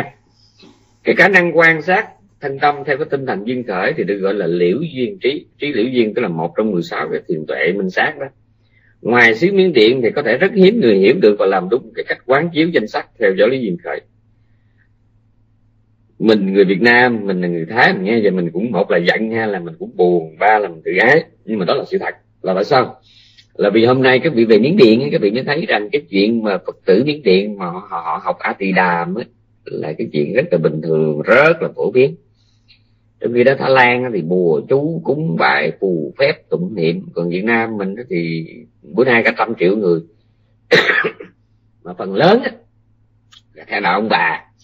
Còn không nữa thì chỉ biết ăn chay rồi à, niệm lục tự di đà cầu vãng sanh. Còn lúc bình thường á, là cứ gặp nạn á, thì cứ cầu à, mẹ hiền quán âm. Đó mình cứ bình thường á, thì cầu mẹ hiền quán âm còn không nữa thì cứ ờ, tụng cầu siêu người chết thì cứ réo bồ tát địa tạng, u minh giáo chủ. Còn không nữa thì cầu rồi theo pháp môn tịnh độ đó, thì coi như là niệm lục tự di đà cầu vãng sanh về tây phương cực lạc. Thì đó là cái gọi là phật giáo của việt nam. Nó khổ như vậy. Bây giờ các vị nào trong room này mà ở việt nam các vị để ý thì các vị đi chùa nam hay bắc tông hay là khất sĩ, cao đài, hòa hảo, một cách chân thành, thiết tha ha. Thế nhị, các vị hỏi hỏi nhẹ nhẹ hỏi thử người ta về giáo lý duyên khởi có ai biết không? Trong một trăm triệu người đó tôi e là tôi e là mười ngàn có một mười ngàn có một. Trong khi bên miến điện thì nó đầy ra đó. Năm 2012 ừ, chúng tôi lên viếng cái à, cái à, Golden Rock rồi cái hòn đá vàng ở Chachio thì chúng tôi nghĩ ở đó một đêm sáng hôm sau chúng tôi đi xuống núi xuống cái cái cái cái xóm núi bên dưới đó thì cái phòng trọ nó rẻ hơn. Tại trong phòng trọ nó có máy lạnh chứ ở chùa nóng quá chịu nổi, phải nói chịu nổi. Thì buổi sáng tôi mới thả bộ đi trong xóm một cái một cái, những cái hình ảnh mà âm thanh mà chúng tôi bắt gặp được, nó nó làm chúng tôi phải suy nghĩ rất là nhiều. Đó là một cái xóm núi như vậy mà vẫn có bóng dáng, chữ tăng đi bát trên đó. Và phật tử họ nghèo, tôi nói sát sơ, họ nghèo đến mức mà cái cái gọi là nhà nó chỉ là mấy cái tre mấy cái tre nó ráp lại ở trên, họ che lá, hoặc là họ chỗ nào trống quá, họ lấy bao xi măng, bao ni lông, họ mới che khuất lại. À, mà có ai ngờ được rằng đó là đi trong xóm núi đó, tôi vẫn nghe lòng lộng, thay vì Việt Nam mình nó vô mấy cái xóm nghèo, người ta mở radio ha nghe cải lương ha còn cái này họ nghèo cỡ nào thì mình đã thấy rồi. Mà mình cứ nghe văn vẳng trong xóm là họ mở cái máy mà về 12 viên à, về 21 viên hệ cứ đi từ xa lại nghe, hê du ba yo ramana ba yo thi thi đây là nhân duyên đây là cảnh duyên đây là trưởng duyên mà suốt, mà đọc Pali thì kiểu miếng điện đọc vậy đó. Mà đi trong phố, trong xóm núi, nghèo sát sơ mà mình nghe nó mình rùng mình nó trời đất. Đây là cái gọi là hệ thống giáo lý cực kỳ xa xỉ. Ngay cả nam tông chỉ một ít, chư tăng việt nam quan tâm một ít thôi. Nếu tôi không lầm á thì chữ tăng nam tông việt nam hiện về trong nước là chỉ đếm trên đầu ngón tay những vị mà quan tâm đến giáo lý duyên hệ ha đếm trên đầu ngón tay ấy, những vị khác tôi không dám nói là dở nhưng mà nhưng mà theo nhận thức của nhận xét của tôi thì có thể hỏi giỏi mà họ không quan tâm họ không có nhắc nhở. Ừ, nhờ. Nhưng mà đặc biệt bên miến điện cái giáo lý viên nghệ thì được nhắc nhở rất là thường xuyên và nó lan rộng ở trong quần chúng nhân dân à, như là tay đè mặt khớp nha cho nên là mình phải nhìn nhận đó là miếng điện là một cái sự sợ mình rất là thích hợp cho cái người muốn học giáo lý ừ, bậc cao và hay là hành trì niệm xứ là về miếng điện là tốt nhất. Còn bà con nào sợ nóng á à, sợ nực á, thì thiếu gì miếng điện nó diện tích là rộng gấp đôi Việt Nam. Gấp đôi có nghĩa là lấy diện tích Việt Nam nhân đôi thì nó ra diện tích miếng điện nha. Thì chính vì nó rộng quá đi cho nên nó có đủ các cái thời tiết à, Việt Nam mình thì chỉ có Bà Nà, Sa Pa, Đà Lạt còn bên miếng điện thì nó có tới một tỷ lần có tới một tỷ chỗ. Mà nó mát lạnh quanh năm rồi có những cái vùng được xem là chảo lửa coi như nó nóng gọi là nó nóng cháy mặt người nha. Cho nên miếng điện đó mình thấy nóng mình giọt mà thật ra mình không có biết về nó nó có những cái vùng nó mát quanh năm. Thì theo ý tôi gửi cho mấy người quen mà muốn đi tu thiền thì nó bây giờ quý vị dò coi cái dòng thiền nào thích hợp à, mình chạy ra đó mình cắn răng mình gồng trong vòng 3 tháng 6 tháng xong rồi mình mình tôi kêu là đi tu mà tôi lấy pháp á. Tức là lấy pháp bỏ túi xong là chạy riết về châu âu chạy riết về mỹ và chạy riết về một cái vùng nào nó mát mẻ của miếng điện. À, thái lan hoặc là việt nam. À, mình để nó mình tu chứ còn mà nó nóng quá mà thứ hai nó là thức ăn miếng điện người ta nói là yếu tay ấn là ăn không nổi nha. Không ăn đồ nguội không phải người miếng nhớ cái câu đó. Không ăn đồ nguội á thì phải người miếng điện họ mời mình tới nhà đại tăng đi chung với mấy sư. 11 giờ họ cho mình ăn thì mình tới nhà họ 9 giờ làm thức ăn đã, nấu rồi, dọn rồi, trên bàn. Rùi con nào con nấy nó bay mà xanh lè thì ớn luôn, nhưng mà họ không cho mình ăn. Họ ngồi họ nói chuyện với mấy sư nha họ cứ để mà cho nó nhan tàn khói lạnh mà tới mà 11 giờ bắt đầu cái chính thức dân cơm mấy sư ăn thì coi như là nó nản, quá nản rồi mà phải nguội mới là miếng điện, không hiểu vì đâu không hiểu vì đâu mà người miệng họ khoái ra đồ nguội như vậy, nha. Đấy. cho nên á, ở đây mới nói là ngoài xứ miếng điện thì có thể rất hiếm người hiểu được và làm đúng cái cách quán chiếu danh sách theo giáo lý hiện khởi. Các vị thử ôn lại thì biết của tôi có nói quá lời không? Hành giả biết đây là nhãn thức nè, đây là nhãn xúc, đây là thọ khổ, đây là thọ xả, đây là ái từ thọ xả, nè, ái từ thọ lạc, nha. Đây là sân từ thọ ương nè, đây là sân từ thọ khổ, nè họ biết đối với một người có học giáo lý duyên khởi, khi mà nhận diện một trong những thứ vừa kể, họ sẽ hiểu được cái gì sẽ diễn ra tiếp theo. Khi mà ham thích cái gì thì biết đây là ái, cũng là thủ, cũng là nghiệp hữu, cũng là vô minh, cũng là một trong ba hành. Cái lối hành trì này đòi hỏi quý vị phải có ba thứ trợ duyên là chánh tính, trí tuệ và và tinh tấn. Nhớ nha. Nãy giờ chúng ta chỉ nói chung chung như là phần giới thiệu về giáo lý duyên khởi và cái mối quan hệ với pháp môn tứ niệm xứ à, giữa niệm à, tứ niệm xứ và giáo lý duyên khởi. Và có lẽ từ chỗ này ta phải đi vào sâu một chút cho những vị đã có căn bản. Điểm nào mà quý vị chưa biết á, thì hôm nay sẽ biết. Mà điểm nào đã biết rồi thì hôm nay sẽ ôn lại à, cho nó sâu rộng hơn. Trước hết vô minh là gì? Quý vị biết rồi vô minh á là không hiểu biết về bốn đế. Không biết mọi hiện hữu là khổ. Không biết à, cái niềm đam mê trong các khổ chính là tập đế không biết cái sự vắng mặt của tập đế nó chính là diệt đế, mà không biết rằng bát chánh đạo là con đường dẫn đến diệt đế. Không biết năm quẩn là ba khổ, thì đó là bất tri trong khổ đế. Ba khổ vừa nhắc ở đây là khổ khổ, là cái sự có mặt của nỗi khổ niềm đau. Hoại khổ là sự vắng mặt của những niềm vui, hạnh phúc.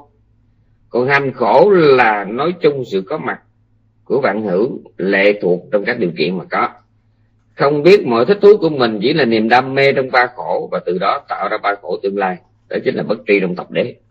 Không biết rằng sự vắng mặt của khổ đế và tập đế đó chính là cái cú cánh cao nhất nằm ngoài ba khổ. Thì đó chính là bất tri trong diệt đế. Nha. Vô dư niết bàn là sự vắng mặt của khổ và tập. Còn hữu dư niết bàn là chỉ là sự vắng mặt của của tập đế thôi. Cái này chắc phải ghi không thôi, mất công mình lộn cái gì chứ việt nam mình nhớ lộn mà vô địch, nha vô dư niết bàn là sự vắng mặt, tuyệt đối của khổ đế và tập đế. Hữu dư niết bàn là cái sự vắng mặt của tập đế mà thôi. Có nghĩa là vị a la hán không còn thì não nữa, không còn tập đế nữa. Nhưng cái tâm thân của ngài này vẫn còn ở đó, sáu căn của ngài sáu xúc, sáu thọ cũng còn ở đó. Thì mấy cái đó gọi là khổ đế. Nhưng mà có một điều á, là đó là cái quả thôi quả luân hồi mà ngài phải gánh lần cuối trước khi mà ngài điền tập, nha. Bởi vì cái thân đó là cái quả của tập tập đế quá khứ mà. Cái thân đó là khổ khổ đế. Mà cái khổ đế này là quả của tập đế quá khứ, còn cái tập đế hiện tại thì ngài đã không còn nữa, nha cho nên tương lai sẽ không có khổ đế khác nha. Phải nhớ cái đó. Tôi ớn nhất là nghe bà chớp bà nhán. Tôi ớn nhất cái chiều đó cái chiều bà chớp bà nhán. À, ở trong cái giới đàn của của tỳ kheo thì tam sư thất chứng còn mà học giáo lý thì tam sao thất bổn nha. Đó là việt nam mình. Chỉ thọ giới tỳ kheo thì tam sư thất chính, à, tức là một hòa thượng hai ông yết ma ừ, bảy ông chứng minh. Thọ giới là tam sư thất chính, học giáo lý là tam sao thất bổn đó là việt nam. Vô địch võ lâm. Mình mà nhận số hai không ai dám nhận số một. Nha. Do bốn cái bất trì trong bổn đế nên kẻ phàm phu thỏa mãn các khát vọng và chạy à, à, trốn những thực tế phủ phàng. À, do do mình bất tri trong bốn đế cho nên à, phàm phu tìm cách thỏa mãn các cái ước muốn và chạy mà ước muốn đó là tập đế ha và chạy trốn những thực tế phủ phàng đó là khổ đế. Bằng cách là thực hiện các cái nghiệp thiện ác à là do bất tri trong bốn đế. Không biết mọi hiện hữu là khổ, không biết mọi cái niềm đam mê là chỉ là đam mê trong khổ. Cho nên khi mà thấy khó chịu quá thì phàm phu mới cắm đầu tìm cách giải quyết. Mà giải quyết bằng cách nào? Giải quyết bằng cách là đầu tư thêm khổ mà mình không biết, nha. Càng khát nước thì càng uống nước muối, mà càng uống nước muối thì nó lại càng khát nước. Đó, cái vấn đề này chỗ đó. Và sẵn nói tới muối thì tôi mới nhớ một chuyện. Cái này phải ghi phải ghi thôi giỏi giáo lý mà không hành trì á, giống như người mà chết khác trên biển vậy đó. Các vị có nghe hiểu không? Giỏi giáo lý mà không hành trì nó giống như người chết khác trên biển là sao? Có nghĩa là ở dưới chân của mình là nước, mà khổ chỗ cái nước đó đó, nó không có giúp cho mình hết khác. Cũng vậy mình quá giỏi giáo lý luôn, nhưng mà mình không có hành trì thì coi như cái giáo lý đó nó cũng không giúp cho mình được cái gì hết. Nha, nhớ cái đó nha. Không giúp cho mình được. Vì chờ tôi một giây.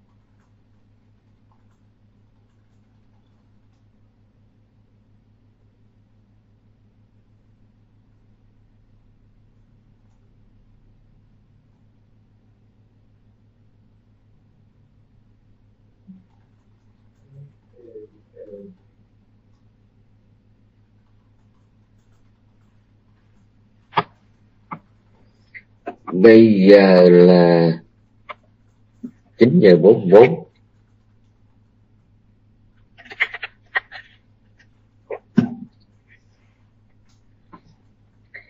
alo, các vị còn nghe không? Dạ rồi. Do bất tri trong bốn đế, cho nên kẻ phàm phu tìm cách thỏa mãn các các vọng à tức là thỏa mãn cái tập đế của mình á và chạy trốn những cái nỗi khổ niềm đau, tức là chạy trốn khổ đế đó, bằng cách là thực hiện các nghiệp thiện ác. Đây chính là trường hợp vô minh duyên ra hành. Mà giàu trốn khổ bằng một miếng ăn hay là bằng việc đắc chứng các thần thiền vô sắc, cũng đều là cách giải quyết khổ đế bằng cách đầu tư tập đế. Hai vì làm ngược lại là muốn lìa khổ đế thì anh phải bỏ tập đế. Chúng ta mới nghe kịp không?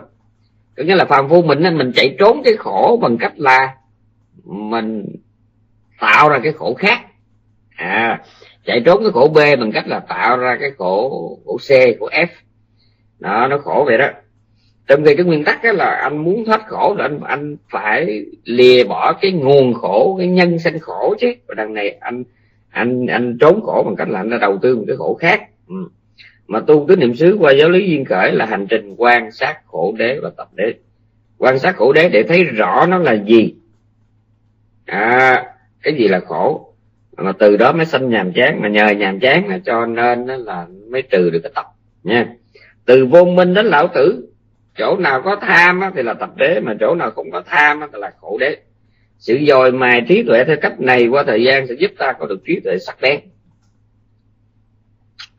Rồi thứ hai từ cái ý muốn mà sai lầm trong cái việc mà trốn khổ tìm vui á, thì kẻ phàm phu mới có cái tâm thiện ác tâm thiện tạo ra các tâm đầu thai cõi vui, mà tâm ác là nó tạo ra tâm đầu thai các cõi khổ. Mà bản thân thiện ác là tập đế gián tiếp hay là trực tiếp. Còn các cái tâm đầu thai đương đương nhiên là khổ đế rồi. Ngay các cảnh giới mà ta hướng đến cũng nằm trong ba khổ. Ở các cõi thấp thì còn có khổ khổ, còn ở các cõi cao thì chỉ có hoại khổ và hành khổ thôi. Có nghĩa là sao? Có nghĩa là ở các cõi thấp thì nó có đủ ba khổ có nghĩa là có cái làm cho người ta khó chịu có cái làm cho người ta dễ chịu nhưng mà tưởng sao cái dễ chịu đó nó có lúc nó cũng mất thì cái mất nó cũng là cái khổ.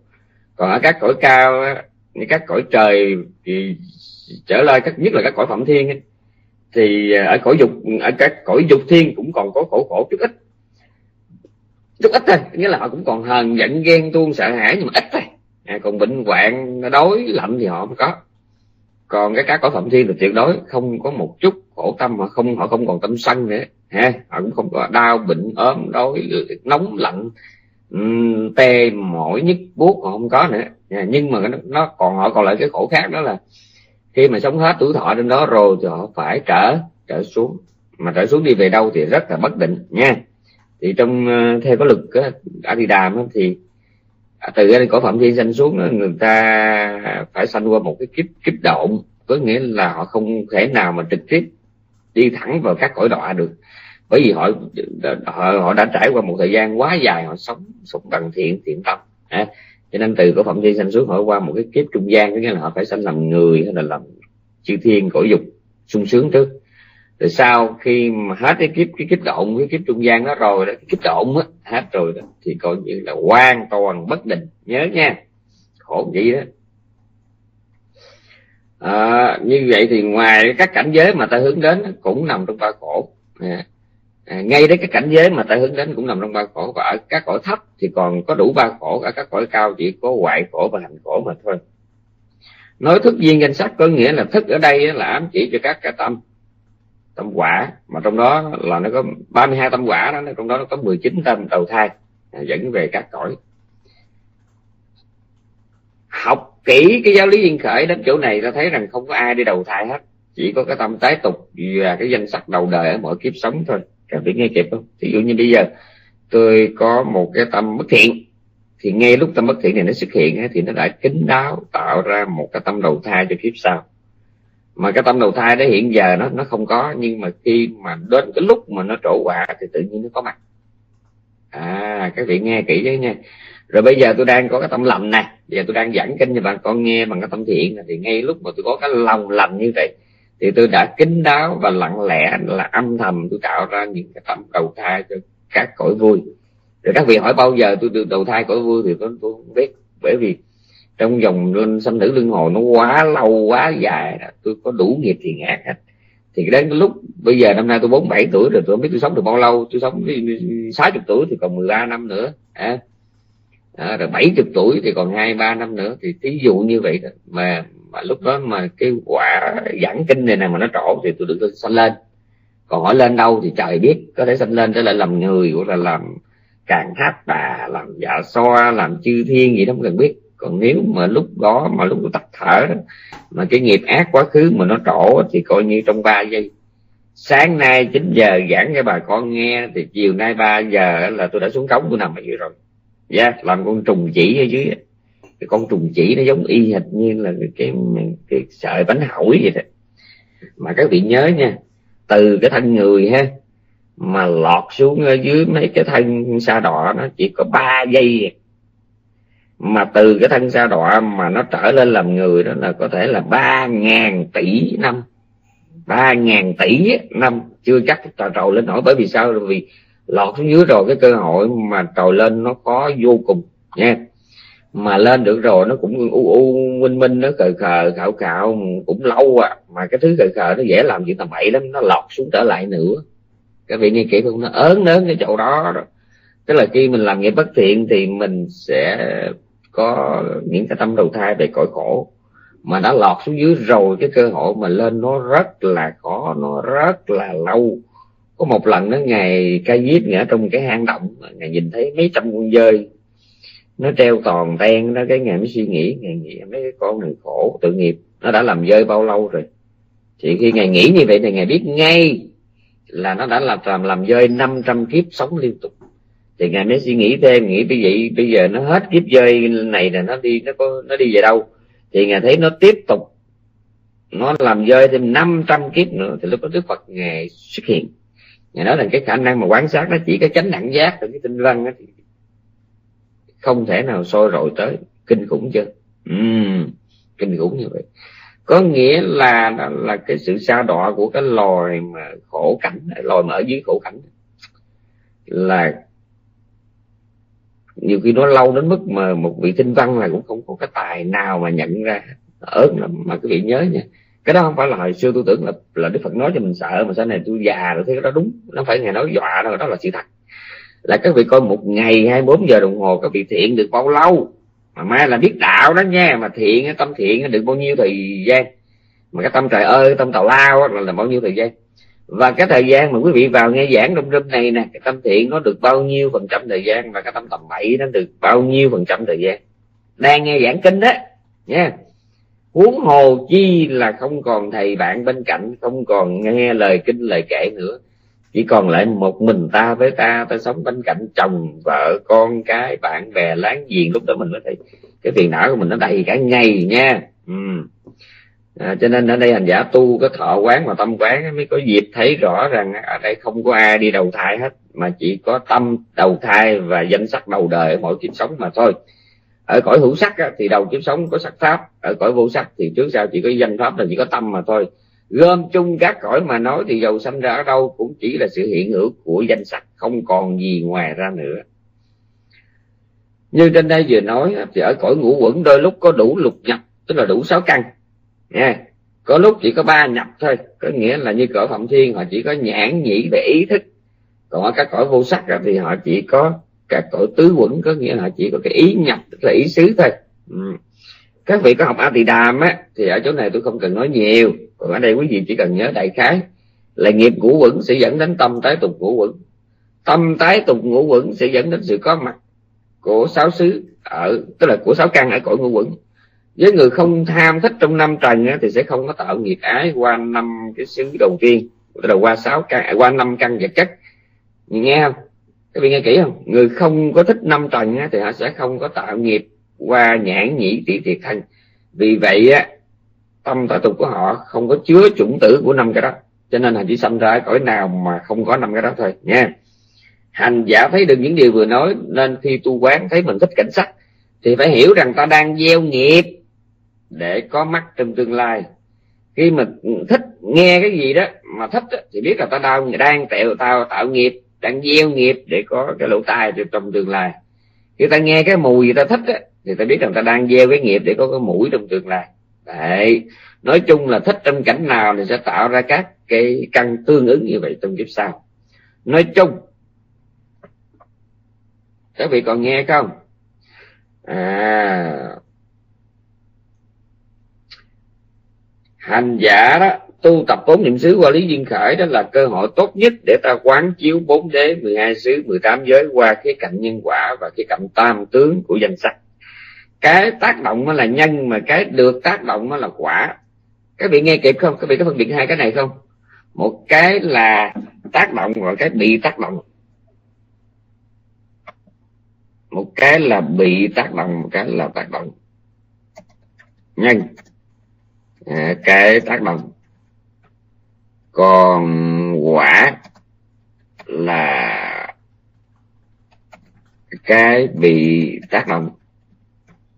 Ừ.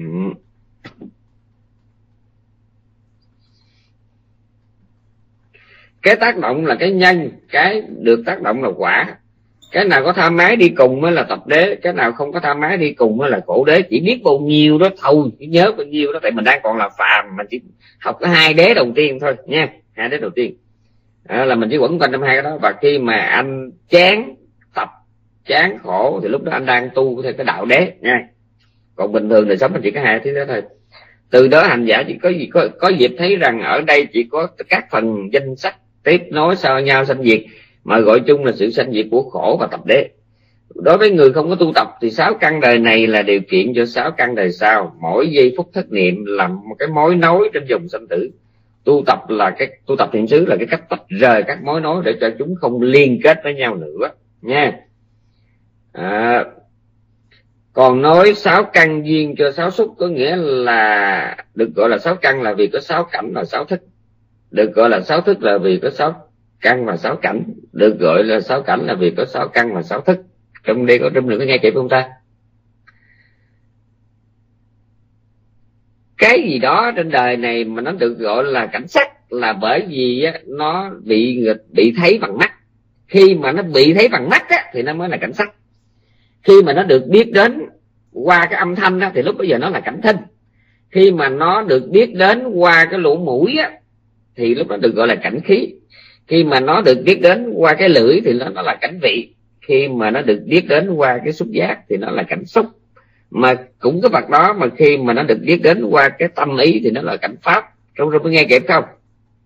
Đây bây giờ cái ly nước nè. Tôi tôi uống nước vô trong miệng của tôi đó thì lúc đó là cảnh vị. Bởi vì tôi biết là bằng bằng bằng bằng à, bằng lưỡi mà cũng là cảnh xúc. Vì tôi biết là bằng thân của tôi nha. Bằng biết bằng xúc giác. Bởi vì tôi biết nó nóng lạnh mà. Tôi biết nó nóng lạnh biết nó là mềm hay là cứng tôi biết. À, nhưng mà bây giờ tôi không có uống nó mà tôi chỉ rờ tôi chỉ nhúng tay cho nó thôi là lúc bây giờ tôi chỉ biết là bằng thân thôi. Đó là lúc bây giờ nó là cảnh xúc. Mà tôi nhìn nó nó là nó là cảnh cảnh sắc. Mà tôi lắc nó nghe ốc ấp ốc ấp trong chai á thì lúc đó nó là cảnh cảnh thân nhớ nha. Ừ. cho nên á, là cái gì đó nó được gọi là cảnh xúc là khi nào nó được biết bằng xúc giác. Nó là cảnh khí khi nào nó được biết bằng khứu giác bằng mũi nha. Đời sống mình mình xé nó ra thì nó nó nó, nó buồn cười mình nó, nó, nó, nó tâm ni như vậy đó nha. Ừ, nó có gì hết.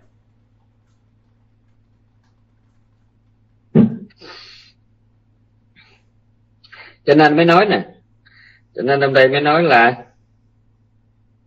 được gọi là sáu căn á tức là được gọi là con mắt là bởi vì nó có khả năng thấy à được gọi là sáu cảnh đó, là bởi vì nó, nó có thể bị biết bằng sáu căn. Còn được gọi là sáu thức là bởi vì đó là cái biết của sáu căn bởi vì nếu chỉ có thần kinh thôi nó chỉ mình chỉ có thần kinh thị giác thính giác cứu giác vị giác xúc giác ha. Mà không có cái tâm thì không biết. Ví dụ như lúc quý vị đang ngủ thì con mắt của một cái người không có mù thì lúc họ ngủ mắt họ vẫn còn nằm ở đó chứ nha nhưng mà lúc nó không có nhận thức là bởi vì lúc con mắt mình nó không có nhầm cái lúc nó đang làm việc nha nhớ cái đó. Và cái chai nước mà họ tối mình nhìn, bây giờ nó nằm kế bên mình, nhưng mà nó không được gọi là cảnh xúc, không được gọi là cảnh sắc. Là bởi vì lúc mình đang ngủ rồi mình không có thấy nó nữa, mình không có sờ chạm nó mình không có uống nó nữa, mình không có nghĩ về nó nữa, nha. Lúc mình đang ngủ mà. Ừ. nhưng mà lát sau mình thức dậy thì cái chai nước nó trở thành sáu cảnh cho mình. Nhớ cái chỗ này các nha. Cái chai nước đó, khi mà mình thức rồi đó thì nó có thể là sáu cảnh cho mình nhưng mà khi mình nằm ngủ hoặc khi mình thở mình không nghĩ tới nó không nhìn tới nó không quan tâm tới nó không lưu ý tới nó thì nó chẳng là gì hết nó không phải là sáu cảnh của mình nữa mà nó là sáu cảnh của người khác. À, lúc này ai chú ý tới nó ai nghĩ về nó thì nó là cảnh của người đó nha. À, và sáu căn sáu cảnh sáu thức cộng lại với nhau thì được gọi là xúc. Như vậy nếu bỏ đi sáu xúc thì không còn cái gì được gọi là chúng sanh hay là thế giới hay là vũ trụ hay là galaxy nữa không còn nha rồi nói xúc duyên thọ có nghĩa là không bao giờ có xúc mà lại không có cảm giác. À khi nào mà cái thần kinh thị giác, cứu giác, thính giác, xúc giác của mình nó làm việc, thì lúc đó mình phải có cảm giác. Cảm giác thích, cảm giác dễ chịu hay là cảm giác khó chịu? Khổ, lạc, ưu, hỷ, xả, phải có, nha. Ừ. bên cạnh nhãn xúc là bên cạnh cái cái sự mà tiếp cận của thần kinh thị giác với cảnh sắc chắc chắn là nhãn thọ. Mà bên cạnh thân xúc chắc chắn là thân thọ. Bên cạnh ý xúc chắc chắn là ý thọ còn đó là thọ gì thì tùy trường hợp. Có lúc thì dễ chịu có lúc thì khó chịu có lúc thọ xả thọ hỷ thọ ưu thọ khổ gì đó. Cái quan trọng là xúc đóng vai trò điều kiện bắt buộc cho thọ và thọ được sinh ra từ xúc. Có một điều ở đây bà con nhớ dùm. Là mình nghe nói là xúc nó tạo ra thọ rồi mình tưởng là là trước sau chứ không có. Cùng một lúc thọ, xúc có mặt là thọ có mặt. Cùng một lúc nhớ nha chứ không có cái vụ mà mà mà mà mà thở xúc trước rồi sau nhưng mà tại cái cách nói nó nghe nó làm như là cái ông này đi trước kia vậy đó. Nhớ nha. Ừ. à, thí dụ như bây giờ mình à, học giáo lý mà qua à, chữ nghĩa đó thì mình thấy là ái duyên à, thợ duyên cho ái ái duyên cho thủ thủ duyên cho hữu hữu duyên cho sanh. Mình thấy làm như nó nguyên một giây vậy có trước có sau. Nhưng mà thật ra thực ra nó không phải như vậy là vì khi mà tôi thích, tức là ái có mặt, thì bản thân ái lúc đó đó, nó đã là thủ. Yeah, nó đã là thủ rồi. Mà bản thân ái nó đã là nghiệp hữu rồi. Mà bản thân ái đó, nó đã ngầm tạo ra cái sanh hữu. Tức là nó đã ngầm tạo ra cái nhân tái sanh cho đời sau kiếp khác rồi. Nhưng mà sự ý đức phật ngài tách ra để cho mình thấy. Nha, giống như bây giờ ngài nói thế này à, nhờ có tiền á, thì mình mới là được sung sướng. À, không nhờ có tiền có thức ăn. Rồi nhờ có thức ăn mình mới khỏe mạnh. Rồi nhờ khỏe mạnh mình mới có sức khỏe mình mới tập thể dục mình mới đi du lịch nó vui. Tức là kể thứ đó thì mình nghe như vậy đó ha. Chứ thật ra nó là là là là chỉ từ mình chỉ dọn bằng ăn ra mình ăn thôi là là là là đằng sau cái ăn đó là bao nhiêu chuyện để ra lúc mình không có thể kể ra hết. Nhưng mà chính vì mình ăn uống thuốc men mà nó hợp lý thì mình có sức khỏe mà tất cả những cái đó là nó có ngay trong lúc đó. Tức là tất cả những cái đó đó là tương lai của cái đó. Nhưng mà ở đây mình không thể hiểu nghĩ cái trước sau được. Nhưng mà nói ra thì làm như có có trước có sau vậy đó. Nó ừ, ăn cái này thì nó bổ sung cho vitamin C nè D nè B6 B1 B12 nè. Mình thấy kể B6 trước rồi lát sau mới tới B1 rồi B12 rồi mình cứ tưởng là à, như vậy thì khi mình ăn vô cái B12 nó có sao rồi, rồi rồi trước đó là B6 rồi trước nữa là B1 cũng phải. Không phải nha không phải nó là cùng một lúc. Mà kể ra phải có trước có sau chứ. Kể ra cho mình dễ hiểu dễ thấy dễ liên tưởng. Rồi.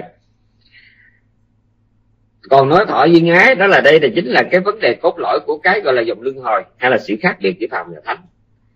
Đối với phàm phu á, không có niệm và tuệ và phiền não vẫn còn ở cái dạng khả năng cái dạng tiềm tàng đó thì khi mà có cái cảm giác khó chịu lập tức sân có mặt. Mà khi có cảm giác dễ chịu thì lập tức tham có mặt nó gắn liền như vậy, hả? Tức là nhãn, ví dụ như bây giờ nhãn xúc là cái biết của mắt đối với cảnh sắc. Thì ngay cái lúc đó cảm giác khó chịu không có mặt. Và cảm giác khó chịu đó là nền cho tâm sân có mặt. Còn nếu lúc mắt nhìn thấy cái gì đó mà nó có cái ý thích, thì cái ý thích đó chính là có từ cái sự dễ chịu. Mà cái thích đó chính là ái, và cái ái đó nó đã ngầm tạo ra cái nhân luân hồi để kiếp sau dù ta có là ai à, phàm hay thánh. Và đó là cảnh gì? Siêu thế hiệp thế thì bên cảnh xúc bắt buộc phải là thọ. Còn đằng sau thọ nó có là ái hay không thì đã nói rồi tùy trường hợp nha. Còn nói thọ duyên ái à, đây là vấn đề cốt lõi của các gọi là dòng luân hồi. Nhãn thọ gắn liền với sắc ái thân thọ gắn liền với xúc ái vân vân. Nói trên chi pháp thì ái và thủ chỉ là một. Có một điều đó lúc thì là tham hợp tà lúc là tham ly tà. Chỉ vậy thôi chính cái cường độ kháng kích sâu dày của ái thì lúc đó nó nó khiến cho nó được gọi là thủ. Chỉ vậy thôi. Nên nên ở đây ta có thể kể ái duyên thủ rồi thủ duyên hữu cũng được, mà nó là ái duyên cho hữu, không thông qua thủ cũng không sai. Vì sao? Là vì ái với thủ chi pháp là một. Nhớ nha, là một. Ừ. ở từ có cái thích. Mà cái thích nó cộng với cái à, cái thích à, mà cộng với cái thói quen thiện pháp à, sẽ tạo ra thiện nghiệp. Cái thích mà cộng với cái thói quen ác pháp thì sẽ tạo ra ác nghiệp nha. Rồi cái ác nghiệp á thì đưa về cõi khổ mà thiện nghiệp á, đưa về cõi lành. Chỉ vậy thôi. Nhắc tới, nhắc lui, tôi biết trong đêm là tôi cố ý. Tôi đọc tới, đọc lui giống như là tôi chưa tôi chưa đọc cái đó, mà cố ý cho bà con nhớ nhớ hoài cái đó, nhớ nha. Cái thích mà cộng với thói quen thiện pháp nó tạo ra thiện nghiệp rồi cái thích mà cộng với cái thói quen ác pháp sẽ tạo ra ác nghiệp. Ví dụ như bây giờ là tôi thấy tôi, tôi thấy người ta đẹp thấy người ta giàu tôi thích quá tôi mới làm phước. À, để kiếp sau tôi sinh ra tôi vừa đẹp vừa giàu. Còn không nữa tôi thấy người ta đẹp giàu quá tôi mới nghĩ đến cái chuyện là tôi đi ăn cướp. À tôi đi ăn cướp như vậy thì cũng cái thích đó đó. Mà một bên thì là là là cái thích mà mà cộng với thói quen làm thiện thì nó sẽ dẫn đến nghiệp thiện. À, còn mà cái thích mà nó cộng với cái thói quen bất thiện thì sẽ tạo ra nghiệp bất thiện, chỉ vậy thôi. Thì cái nghiệp thiện nó dẫn mình đi lên, mà ác nghiệp nó dẫn mình đi xuống. Chỉ vậy nè cho nên đây là lý do tại sao mình phải tu tập cái tâm quán niệm xứ hoặc thọ quán để mình kịp thời phát hiện rằng đây là nhân lành hay là nhân khổ đây ta. Trong mỗi phút nha mỗi phút mỗi giây để để tâm trạng mình như thế nào nên nếu mình tu thọ quán thì mình biết đây là thọ khổ nha thọ khổ là đủ rồi chứ còn mà bất mãn trong thọ khổ là nhân sinh khổ tiếp à, rồi khi mình mình biết mình có được cảm giác dễ chịu thì biết đây là cảm giác dễ chịu nha. Nhưng mà tới đây đủ rồi. Chỉ còn đây là chỉ cần thích nó là nhân sinh khổ nha nhân sinh luân hồi nha. Thì ngay bây giờ quý vị không có tu hành gì hết quý vị nghe này quý vị thấy nó khô quý vị ngán nha. Nhưng mà phải nói à, hôm nay trong room này những người tò mò hoặc là quẩn quá đi làm gì ngồi nghe có thể không giúp được gì đâu nhưng mà mai này một lúc nào đó chiều nay mai mốt bữa kia bữa kia bữa kia. Mà nếu mà quý vị ngồi nhớ lại từ từ mà nếu mà có cái duyên mà thực tập hành trì quý vị sẽ từ từ quý vị thấy nó cũng an lạc rất là an lạc. Cứ mỗi lần mà thấy nghe ngửi nếm lúc nào cũng biết. Bất họ thấy mà bất mãn đây là tâm sân. Thấy mà thích đây là tâm tham tham ở đâu thì là khổ là, là tập đế ở đó. Mà ở đâu vắng mặt tham thì ở đó là khổ đế. Nhớ là vắng mặt tham là khổ đế mà có mặt của tâm tham thì đó là tập đế. Cứ nhớ bao nhiêu đó thì đừng có nhớ hai cái đế sao mà lắm. Nha mình chỉ có bao nhiêu đó thôi. Chứ đừng có ngồi bắt trước ai. Đó là nói là cư trần bất nhiễm rồi ừ, diệu hữu chân không cao siêu quá đi mệt lắm nha. Cứ nhớ như hãy có tham ở đâu đó là tập đế mà ở cái chỗ nào không tham đó là khổ đấy cứ nhớ nhiều rồi. Ừ. thì chính vì có thích cái này, thích cái kia mà cộng với thói quen thiện ác cho nên ta mới tạo các nghiệp thiện ác mà chính vì có tạo nghiệp thiện ác, cho nên ta mới có cái, các cái loại tâm đầu thai cõi khổ, cõi vui. Mà chính vì có tâm đầu thai, cho nên ta mới đi tái sanh cõi này cõi nọ, và từ đó mới có là thương, xa, ghét, phải gần muốn mà không được. Và đã có thân thì phải có bị cái cảnh sanh, già, đau, chết. Đó, và vô vàng những cái nỗi khổ khác mình không thể kể xiết nha chỉ còn những cái khổ căn bản thì là sanh là khổ già, đau, chết là khổ ha muốn không được là khổ thương, thích mà phải xa, ghét, sợ mà phải gần đó là khổ đó là kể gọn. Cái khổ mà kể gọn thì chỉ đếm đầu ngón tay thôi. Nhưng mà khổ chi tiết thì không kể xiết. Nhiều lắm quý vị biết không? Nhiều lắm. Nó thí dụ như nói là ghét ghét mà phải gần á cái ghét ở đây nó đâu phải là con người không, mà nó là vật nữa cái chỗ này nó hôi quá đi nó nóng quá đi mà tôi phải ở đây tôi đi không có được. Mũi quá cát nhiều quá à, sinh lây nhiều quá. Như vậy thì nó cùng lúc là là muốn mà không được có nghĩa là muốn lìa lìa khỏi đây mà cũng không lìa được. Chán ở đây mà phải ở lại đây. Đó, đó là đối với cảnh đối với vật còn đối với người thì bà con hiểu rồi có những trường hợp mình ớn cái người đó quá mà mình phải gặp hoài tôi nhớ tôi có quen một vài phật tử họ nói bây giờ mà có ước gì mà, mà mà có một cái pháp lạ nào đó mà họ tìm được một cái sở làm khác một cái chớp khác họ không có gặp mấy cái người đó nữa. Thì họ gặp những người mà chung sở một cái tánh rất là xấu xấu mà ác mà thâm độc mà gian trá mà ba xạo đủ thứ. Nhưng mà bây giờ nó khổ quá khổ đi. Bây giờ nó là là là đi được là bỏ sở là bỏ được liền nó bỏ nhưng mà khổ chứ bị bỏ đi đâu với khả năng, với trình độ, với điều kiện, chỗ ở, nhà cửa như vậy, bây giờ kiếm một cái chóp khác không có dễ. Tành cắn răng cho nên nó đừng có nói chuyện tù tội bệnh hoạn, chết chóc nha. Chỉ riêng cái chuyện mà ở gần cái người mình ghét đó là cả một vấn đề người việt xưa có một câu giặt bên ngô không bằng bà cô bên chồng đó. Nỗi mà khổ của nàng dâu không là đủ để mình chứng thánh. Nghĩ cảnh mà lưng hồi mà làm dâu người ta đó không?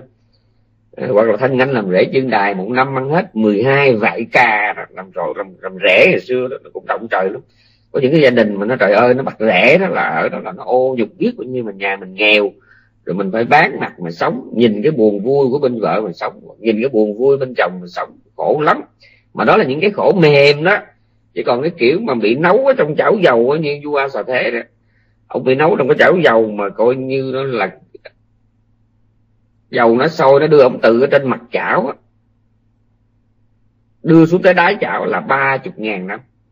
Rồi từ dưới đáy chảo mà nó trồi lên trên được cái mặt chảo là ba chục nữa là sáu chục. Ông phải trải qua sáu chục ngàn năm như vậy thì ông mới thoát khỏi cảnh địa ngục đồng sôi rồi mới trở lên đây ông tu tập ba la mật. Mà do cái hạnh nguyện của ông cho nên a sở thế, bây giờ là ông phải tu thêm hai a tăng kỳ nữa mới chứng độc giác còn ông đề bài đạt đa đó, bây giờ là ông coi như là ông, cái chiều cao của đề bài đạt đa bây giờ là một trăm cho tuần. Có nghĩa là cái cái chân ổng nó bị ngập ở trong trong trong trong sắt, mà sắt cháy đỏ. Mà cái đầu ổng nó bị niền cũng trong sắt. Nói chung là ổng giống như cây cột vậy đó. Là cái, một phần đầu ổng nó dính ở trong cái sắt sắt bị chảy. Rồi cái chân ổng nó bị lúng ở trong sắt, bị chảy. Mà ổng phải đứng thẳng như vậy, suốt một tiểu kiếp như vậy, là không biết bao nhiêu tỷ năm từ từ đó nó mới hết nó mới hết cái thời gian cái địa ngục mới sanh lên đây. Ông luân hồi thêm một trăm ngàn đại kiếp nữa. Thì ông mới là đắc quả độc giác. À, mà đắc xong rồi chỉ sống có bảy ngày thôi. Mà người gầy như bộ xương mà mở miệng ra nó hôi cả làng vậy đó. Tại vì nghiệp yếu thọ một phần một phần nữa ngày cũng không muốn sống lâu bởi vì dễ gieo cái nghiệp xấu cho người ta để ghét mình á. Để khinh mình á cho nên ngày niết bàn đặt xong trong vọng từng của niết bàn liền. Đó là đề bài đặt đa có nghĩa là cái kiểu tu mà có cộng với quá nhiều ác nghiệp, tới hồi chứng nó cũng chạy trật cái vị thấy không? Mà muốn trở thành độc giác là phải trải qua thời gian là hai a tăng kỳ, một trăm ngàn đại kiếp. Mà ông đề bạc đa ông tu hết cái số chẳng rồi, ông tu hết hai a tăng kỳ, còn sót là số lẻ là một trăm ngàn thôi. một trăm ngàn đại kiếp, còn ông a sập thế ông tu hết cái lẻ mà còn sót lại cái chẳng còn dư nguyên cái chẳng luôn. Có nghĩa là ông a sập thế là ông mới tu có một trăm ngàn, còn sót lại hai a tăng kỳ nữa mới xong nha. Ừ. cho nên là nhớ cái đó nhớ mà ớn nhớ mà ớn có dòng luân hồi nó vậy đó. Có nghĩa là có thích có ghét thì nó có tạo nghiệp. Mà do cái trình độ của mình do cái thói quen của mình à, cái thói quen khác mà cái trình độ khác. À, do cái trình độ và cái thói quen của mình nó khiến cho mình là tạo đứng trước cái cảnh đó mình tạo nghiệp thiện nghiệp ác. Mà thiện thiện cỡ nào mà ác ác cỡ nào thì nó tùy cái trình độ và tùy cái cái tôi quên. dạ rồi. Do có các cái tâm đầu thai nên mới có kiếp sống mới mà từ cái chỗ kiếp sống mới đó chúng ta mới chấp nhận các thứ khổ khác nhau nha khổ khác nhau. Mà dầu cho sanh về các các cõi lành đó, thì nó cũng có cái khổ riêng của nó đó là sống hết tuổi thọ cũng phải cũng phải chết. Đó cũng là một cái khổ nha. Ừ. bây giờ mình mới quay trở lại cái tâm quá niệm xứ rồi. Nãy giờ lại học cái lý thuyết thôi. Dạ, và bị giờ học qua cái tâm quán niệm xứ.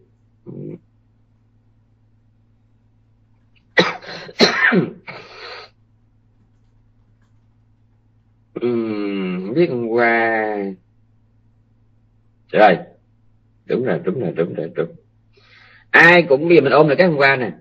Ai cũng nói tu tập tự quán là biết cảnh hiện tại nhưng mà ta phải hiểu rằng cái chữ hiện tại là nó có thương nghĩa chế định nghĩa thông thường nghĩa đồng hồ của mình đó có nghĩa là ngay lúc này là thí dụ hỏi lúc này sống làm sao? Thì mình nói ờ lúc này hả? Lúc này từ tôi đang đi làm thở hồ.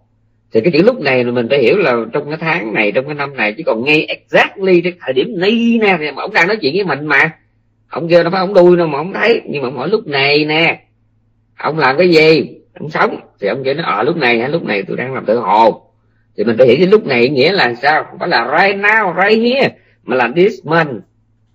Nha yeah, this month nhớ gì chứ còn không phải là là là ngay hôm nay ngay giây phút này thì không phải. Ừ, tôi phải nhớ nữa cảnh hiện tại là cảnh vậy đó.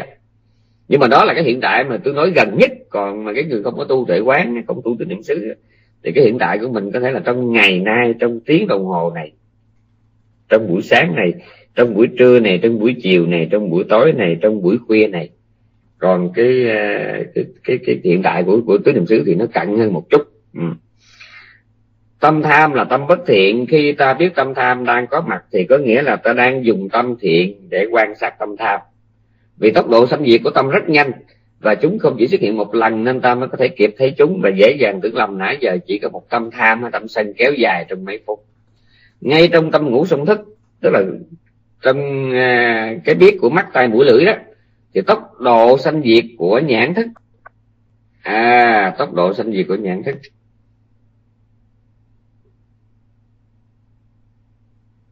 hay thiệt thức thân thức cũng đều như nhau nhưng mà hành giả luôn thấy hình như cái thân nó, nó, nó lâu hơn cái gì mình để, mình để nhìn thấy cái gì đó. Mà trong chớp mắt mình đã thấy rồi. Còn cái cơn đau của mình đó, thì nhiều khi mình thấy mình tưởng tượng nó có cái gì đó nó dài nó dai nó nặng nó đè lên mình suốt mấy tiếng đồng hồ vậy đó. Ví dụ như vậy. Cho nên nhiều khi mình có cảm giác hình như cái thân thức nó lâu hơn mà không phải. Tất cả nó đều bằng nhau hết nhớ nha. Mà tại vì khi mình thấy đau lâu là bởi vì nó nó vô số sắc na à, nó tiếp nối nhau hoài hoài. Những cái đó nó giống nhau cho nên mình cứ tưởng là trước sau chỉ có một, không phải nhớ nha hành giả phải dùng niệm và tuệ để thấy rằng cơn đau hay sự ngứa ngáy đó thực ra là sự ghép nối liên tục của vô số tâm thân thức thọ khổ. Hơn ai hết, hành giả tu tập tâm quán niệm xứ hiểu rằng đời sống của mình là sự ghép nối liên tục của sáu thức của các tâm thiện ác buồn vui trong từng giây.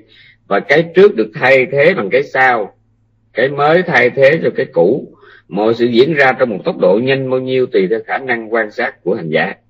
Niệm tuệ càng bén nhạy chừng nào sẽ thấy các tâm diệt mau lẹ chừng ấy. Thấy chúng sanh diệt mau lẹ, ta mới hiểu vì đâu phật dạy thanh tâm này là vô thường, rỗng tuếch, không cốt lõi. Mọi sự trôi đi mà ta không cách nào kèm giữ hay níu kéo được. Về và chính ngay điểm này, hành giả thấy rằng ba khổ gắn liền với những gì là vô thường. Và cái gì là khổ thì không đáng để cho ta, cho đó là tôi hay là của tôi. Ờ, cái việc mà đi tìm một cái tôi trong cái cõi đời đau khổ này nó giống như mình là mình cố tìm đi xin quốc tịch ở cái xứ Iraq. Hay là ở cái xứ mà Syria vậy đó. Tức là nó khổ như vậy mà mình chung đầu vô đó làm công dân cái xứ nó làm cái gì? Nha yeah. Mà vấn đề là bởi vì mình không thấy Iraq là khổ, không thấy cái đó là cái xứ nguy hiểm, không thấy rằng đặt chân vô đó là sống na chết mai mà mình cứ tưởng đó là hay là đẹp thì mình mới cắm đầu vô trong đó. Chứ nếu mà mình biết rồi đó hả? Người ta có trả tiền tháng thì mình cũng dám mà, vô đó mà xin quốc tịch nữa nha. Một người thông minh không bao giờ muốn sở hữu thứ gì mình không thích nha. Phàm phu khổ tâm vì sống trong chấp ngã. Họ chấp ngã vì không biết thân tâm là khổ. Họ không thấy thân tâm là khổ vì không thấy đúng mức cái sự vô thường của nó. Ngày hôm qua tôi nói rồi hành giả buổi đầu mới tu tập tứ niệm xứ niệm còn yếu nhẫn còn yếu định còn yếu trí còn yếu cho nên sợ khổ vì thấy khổ nó là cái gì đó dài dai và nặng. Nghe nó đè lên người của mình. À, mình quên mất một chuyện đó là cảm giác dễ chịu hay khó chịu nó chỉ là sự ghép nối của nhiều sắc na tâm mà thôi. Cho nên buổi đầu á niệm yếu tuệ yếu thì mình thấy cái khổ hoặc là cái vui nó là một vệt. Biết tôi nói cái này còn nhớ không ta? Người không tu gì hết thì thấy tôi đời tôi là một vệt dài vô tận. Tới hồi mà có tu rồi đó có học giáo lý thì mình thấy buồn vui chỉ là từng vệt thôi từng đốm thôi đấm vui đấm buồn. À, nhưng mà còn thấy nó là từng bạt từng đốm đó, thì mình cũng còn thấy nó nhiều. Nhưng mà khi chánh niệm nhiều quá rồi đó, định nhiều quá tuệ nhiều quá rồi nó kiên cố rồi nó vững chãi rồi thì mình sẽ thấy rằng cái khổ vui nó không phải là từng bạt nữa mà nó là từng chấm nhỏ như cây kim, chấm chấm chấm chấm chấm chấm chấm chấm. Được gọi là khổ là nhiều cái chấm như vậy, được gọi là vui cũng là nhiều cái chấm như vậy. Nhớ nha. Cho nên tu tập tâm quán niệm xứ, ta sẽ thấy rằng thân tâm này là vô thường, với cái khổ gắn liền theo đó, và tự nhiên không muốn áp đặt lên nó, ý muốn sở hữu nữa hành giả mà tu với con sướng mình ngon lành rồi đó, thì không còn thích ở trong lạc mà không còn sợ trong khổ là vì sao? Vì nhìn thấy cả hai đều là chớp nhón chấp nhón chấp nhón lúc chỉ là chạy theo nó quan sát hút hơi, chứ không còn cái cái cái cảm giác mà gọi là là là chạy trốn cái này, theo đuổi cái kia nữa, nha. Khi nào mà quý vị trong râm mà hành tứ niệm xứ mà các vị còn thấy, còn muốn muốn cái này có, mà muốn cái kia nó mất giùm cho tôi nhờ, tôi khó chịu quá, cha ơi, cha đi giùm tôi tôi đau quá. Gọi là trời, bây giờ mà mát nhưng mà một hồi nó hết mát rồi sẽ làm sao?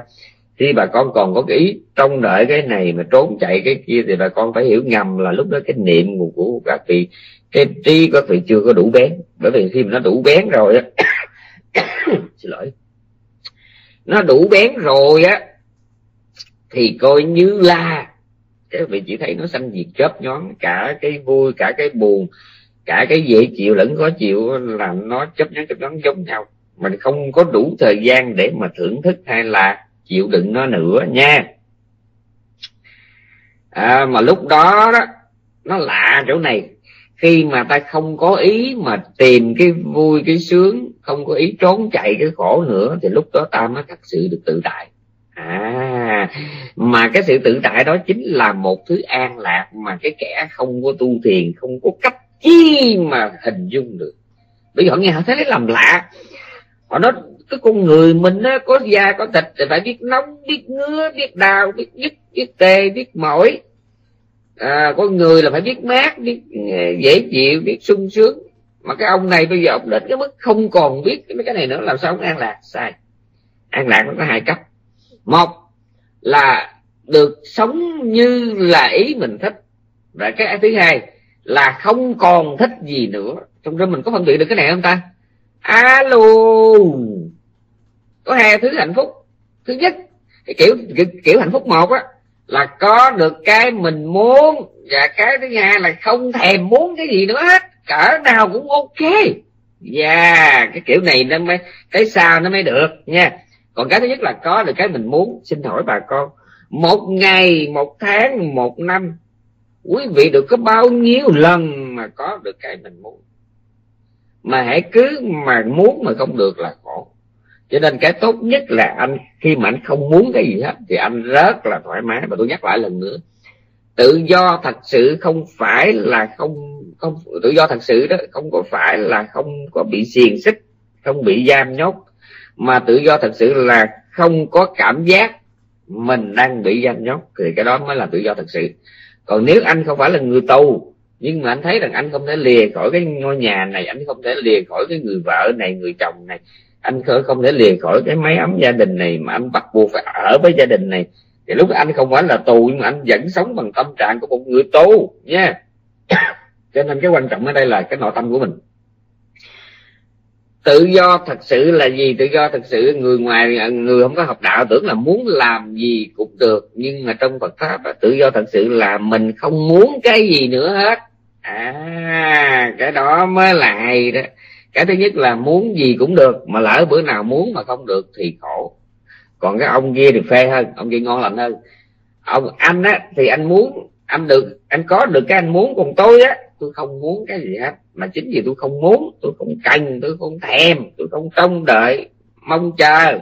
Cho nên cái gì tới với tôi cũng thấy nó ok hết. Anh nhớ giùm tôi nha. Tôi không ý trông chờ cái gì và tôi không muốn trốn chạy cái gì hết. Khi mà không có trông chờ, không có trốn chạy thì cái gì nó đến cho tôi cũng ok. Như vậy tôi ngon anh còn anh ha anh có được cái anh muốn là được anh sang, nhưng mà tôi báo cho anh một cái tin buồn nha. Có bao nhiêu phần trăm những cái anh muốn mà anh có được? Mà anh có rồi anh giữ nó được bao lâu? Nó không bỏ anh thì anh cũng bỏ nó. Anh bỏ nó bằng cách nào? Một là anh chán nó hai là anh không còn giữ được nó nữa. Ba là anh lăn đùng ra anh chết. Anh nhớ nha.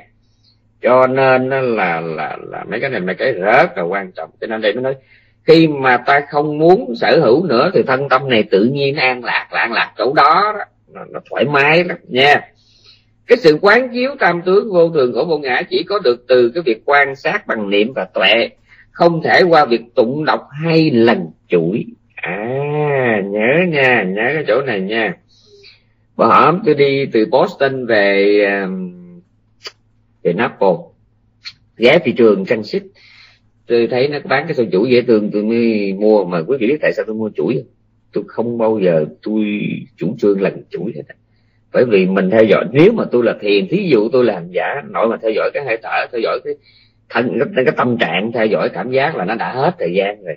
Thời gian đâu mà lành chuỗi ha. Mà nên nhớ tu cái gì thì thành phật cái đó. Tu tâm là thành phật ở tâm. Mà tu ở ngón tay thì thành phật ở ngón tay. Nha lần chuỗi là mình tu ở ngón tay.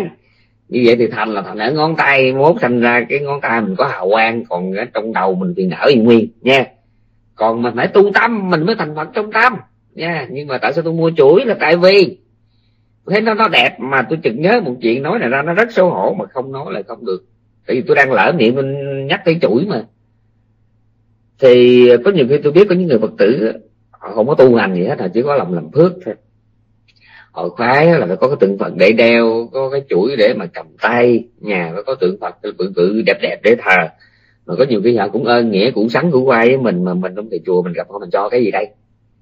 Mà có nhiều khi họ trông đợi mình mình ở xa về, họ cũng muốn mình cho họ cái gì đó, mà hôm nay tôi cho họ cái gì đây? Thì cái mà tôi có thể cho họ chỉ có chuỗi một cái chuông nhỏ nhọt là tượng vật thôi.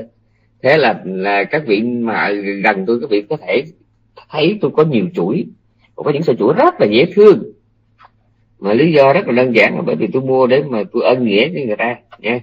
Chỉ vậy thôi, ok cho nên nó này mới nói nè sự quán chiếu tam tướng chỉ có được từ cái việc quan sát bằng niệm và tuệ không thể qua việc tụng đọc hay lần chuỗi. Phép tu tứ niệm xứ buổi đầu có thể chỉ là sự lặp lại điều mình được nghe. Cái chỗ này phải đọc, đọc kỹ đọc chậm lại nghe cho kỹ nghe cho chậm nha. Phép tu tứ niệm xứ buổi đầu có thể chỉ là cái sự lặp lại cái điều mình được nghe thôi. Cũng giống như mình tập thể dục dưới sự hướng dẫn của thầy thở ra biết là thở ra, thở vào biết là thở vào. Nhìn tâm tham biết là tâm tham, nhìn tâm sân biết là tâm sân. Buồn ngủ biết là đang buồn ngủ. Ganh tị biết là đang ganh tị, bụng xỉn biết là đang bụng xỉn, sợ hãi biết là đang sợ hãi. Đó, lúc đó có thể là ta chưa thật sự thấm thía với cái gọi là tam tướng. Và đến một lúc nào đó ta phải quên thầy, quên sách, quên kinh, quên lý thuyết.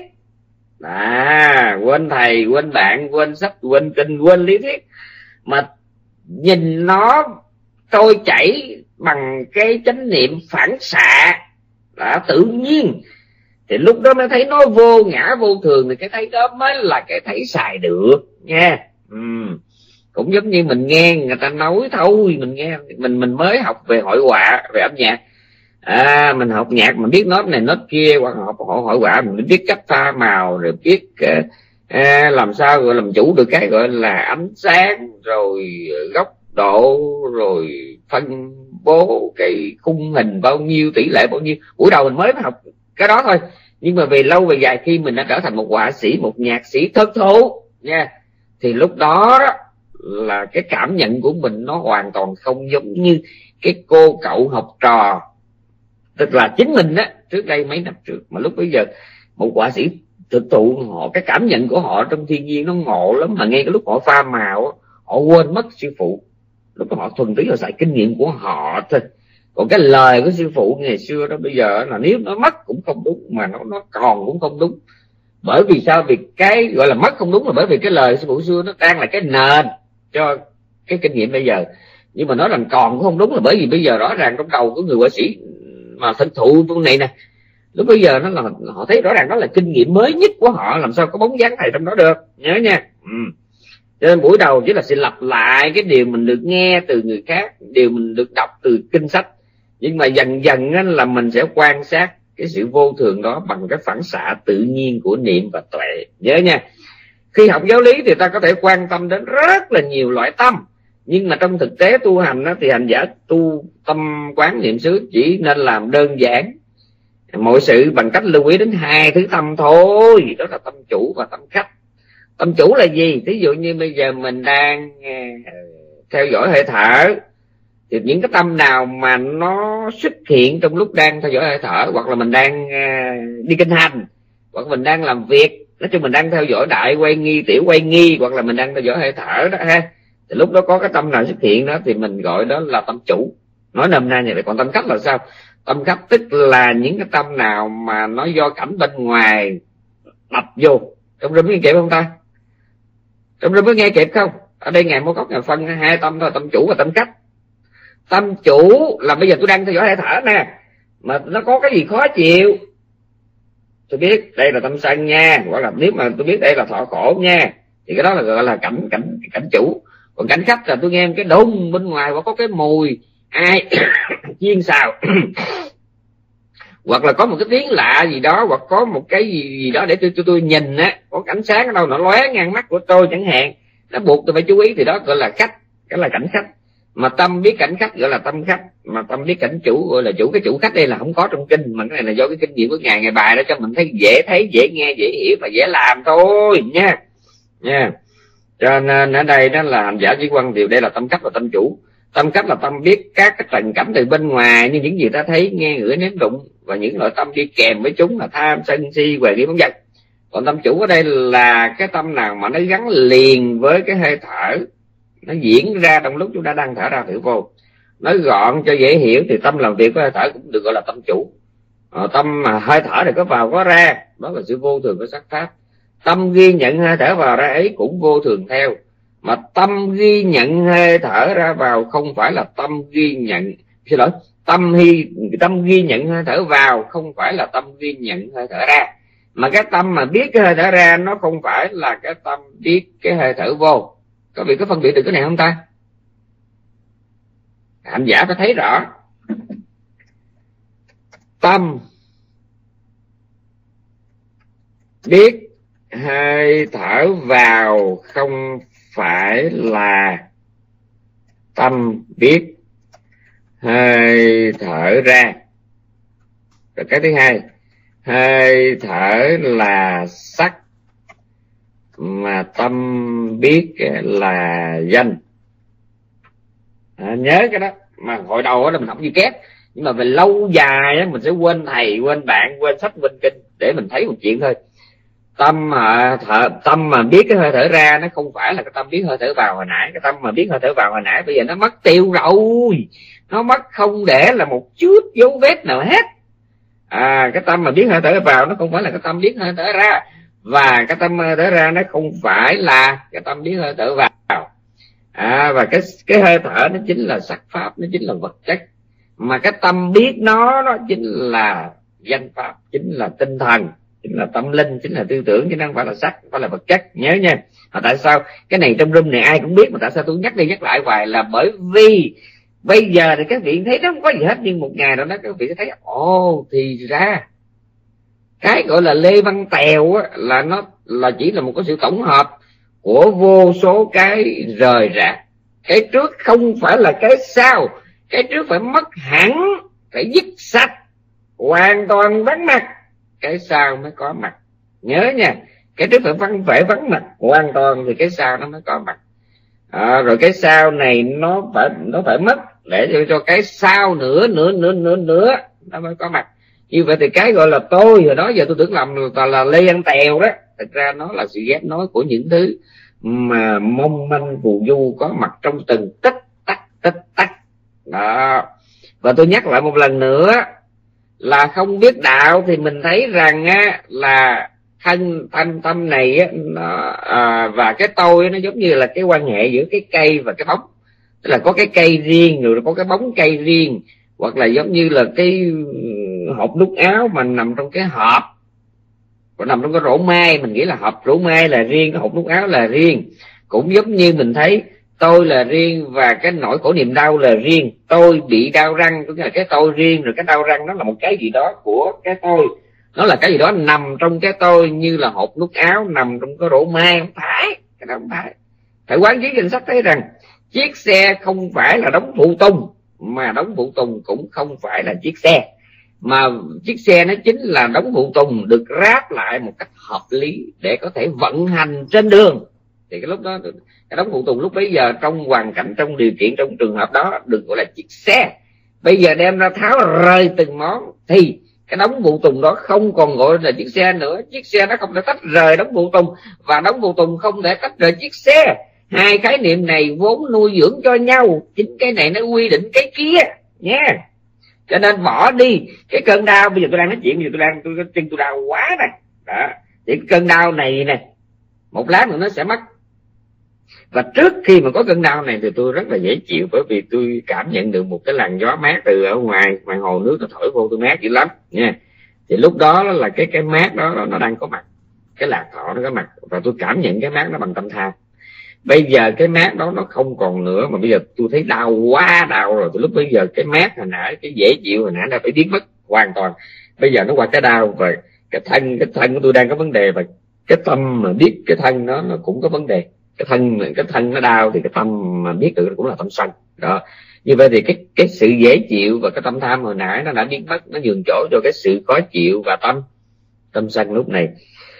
Như vậy thì cái lê văn tèo hồi nãy này mà để dễ chịu đó, nó đã chết ngắt rồi, nó đã vứt bóng rồi. Bây giờ là đã lê lên đến thằng lê văn tý, nha. Tại vì mình không có học đạo, không thành đạo, cho nên mình tưởng là thằng tèo trước sau nó sống đời đời, nha, cái đó không đúng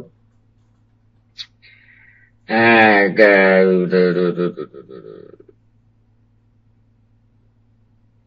nghĩa là cảnh đề mục vô thường và tâm ghi nhận đề mục đó cũng vô thường. Cái vô thường này quan sát cái vô thường kia.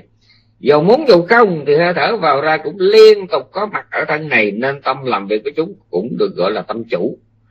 Còn tâm khách là những thứ tâm lúc có lúc không. Chúng ta mới nghe kịp không ta? Cái tâm mà nó gắn liền với hơi thở mình nó được gọi là chủ là bởi vì nó có liên tục à, nó diệt sanh diệt sanh diệt lúc nào nó còn cái tâm mà tâm khắp là lúc có lúc không ví dụ như con mắt của mình phải lúc nào mình cũng thấy. Lỗ tai mình phải lúc nào nó cũng làm việc. Cho nên nó được gọi là cách. Là những thứ mà ta có thể mời mặc hoặc chối từ. Chính vì vậy những tâm này được gọi là tâm khách là bởi vì những tâm này ta có thể mời mời mà mọc hoặc chối từ trước đó. Riêng tâm chủ là cái thường trực tới mình nói vậy nếu hành giả tinh tấn có niệm có tuệ đủ mạnh thì không lúc nào là không có việc để làm. Nhớ nha cái này qua tôi nhớ tôi có nói rồi. Chỉ cần mà quý vị trong râm là một hành giả tinh tấn mà bậc thượng đó, thì quý vị không có thời gian vào đây để mà nghe đâu vì sao? Vì ở đây ta đã nói rồi. Nếu hành giả có tinh tấn có niệm tuệ đầy đủ thì không lúc nào là không có việc để làm không lúc nào thiếu cảnh để quan sát không cần phải đi kiếm thêm ở đầu hết ngay cả việc lần chuỗi cũng là kiếm chuyện để làm. Mà lẽ ra à, lẽ ra thì hơi thở của mình cảm giác của mình tâm trạng của mình đã quá thừa để cho mình gọi là quan sát.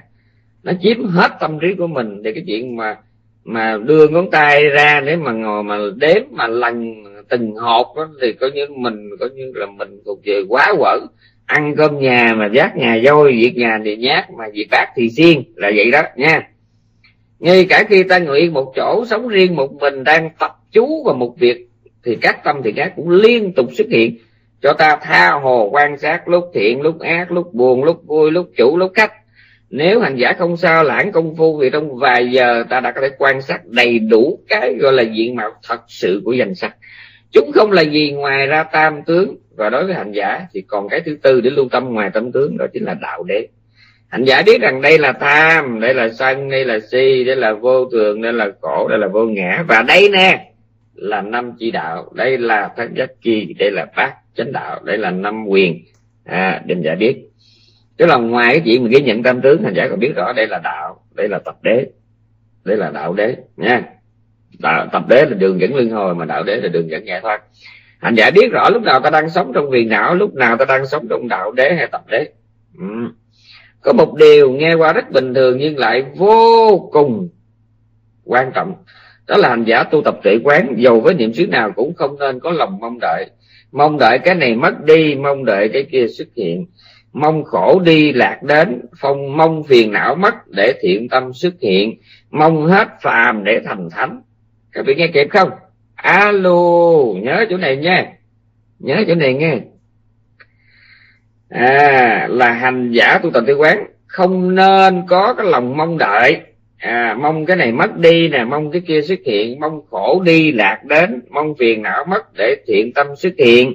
Mong hết phàm để thành thánh. Hãy có cái mong đó là chết rồi là vì sao? Là vì anh vốn dĩ không có đủ thời gian để mà mong cái này mà lánh cái kia. Bởi vì anh có theo dõi hơi thở anh mới biết nó cứ ra vô liên tục anh có theo dõi cái cảm giác, anh mới biết là nó luôn luôn có mặt không, cảm giác này cũng cảm giác kia. Anh có theo dõi cái tâm quán niệm xứ, anh mới biết cái tâm anh không có tâm trạng này thì cũng có tâm trạng cả thì làm sao ngoài cái việc mà theo dõi đó, anh còn có tâm ý nào để trông chờ, mà anh càng trông chờ thì nó càng hỏng việc. Nhớ nha. Thiền quán đại kỵ cái gì sự trông chờ, bởi vì trông chờ nó chỉ làm cho mình hỏng việc. Nói một cách khác cũng giống như là một cái người mà cua rơ mà đua xe đạp trên đường đường đua đó. Đúng. Là anh nào có mặt trên đường đua thì cũng phải mong là mình về đến đích sớm để mà đoạt giải, đúng không? À. nhưng mà nói vậy thôi, chứ còn trong lúc anh đang chạy là anh phải chú ý đến rất là nhiều chuyện. Anh không có nên nghĩ nhiều đến giải thưởng nha. Anh cứ lo anh nghĩ đến giải thưởng rồi anh cứ lo nghĩ đến những cái tràng pháo tay, rồi anh sẽ được đài truyền hình, báo chí phỏng vấn là chết cha anh. Rồi anh nhớ không? Anh phải chạy cẩn thận. Anh coi, trước mặt anh, bên cạnh anh, chung quanh anh, và biết đâu có cái thằng khùng nào đó nó chạy xe tải ngược chiều. Yeah nó có trường hợp đó nữa nha. À cái coi James Bond thì biết, trong đó có cái phim nào tôi quên mất rồi. Mà nguyên một cái đoàn cua đang chạy trên một cái đường núi, thì lúc đó James Bond từ ở dưới núi anh giọt lên tôi coi tới cái đó mà tôi mất thở luôn. Tôi hết hồn đó tôi trời đó tôi tiêu tiêu mà hơn là tài xế thì dĩ nhiên phim mà, kịch bản nó diễn theo cái kịch bản, nhưng mà mình cũng hết hồn chứ. Thì coi như là cái cuối cùng thì chiếc xe hơi mà ngựa kiều nó lách được cái đoàn à, đua này. Nhưng mà cái đoàn đua nó hổ quá kinh hoàng đi. Cho nên khi mà cái chiếc xe đó nó qua khỏi rồi tự cả bảy mấy chục ngàn đồng ngã rạp xuống cái là họ nãy họ trụ được là trong cái cơn thảng thốt, mấy xe cành, mấy tích tắc thôi. Chứ khi mình chiếc xe kia đi rồi là cái đám nó rạp xuống là vì sao? Là bởi vì họ quá sợ. Cái chuyện là chuyện rượu buông, tôi đang trở lại vấn đề đó là một cua trên đường đua đồng ý trong thâm tâm biết rằng ta đang hướng đến đích, đang hướng đến giải thưởng, đang hướng đến cái sự vinh quang trong cái những ngày tháng đua xe. Tuy nhiên, biết để là biết vậy thôi trong lúc mà đang gọi là đang điều khiển trên đường chưa tới đích thì họ phải chú ý trước sau và quan sát mọi sự có thể những những cái bất trắc có thể xảy ra trên đường lúc này hoặc là hai giây ba giây nữa nha. Thì lúc đó mà cứ ăn cứ vừa chạy cái lo chuyện mà lên bục mà lãnh giải là chết rồi nha không có được nha. Ừ. hoặc là bà mẹ mà đang lễ gai cho con. À, thương con lắm thương lắm à, và trong đầu lúc nào cũng nghĩ đủ chuyện làm cái gì nấu gì cho con ăn mua cái gì cho con mặc rồi, rồi sắm cái này cho con xài sắm cái kia cho con xài. Lúc nào trong đầu cũng nghĩ tới con. Tuy nhiên lúc mà đang gỡ tháo lên lễ ga cho con thì phải dốc toàn tâm toàn nghĩ lấy cho bằng được cái gai nó ra.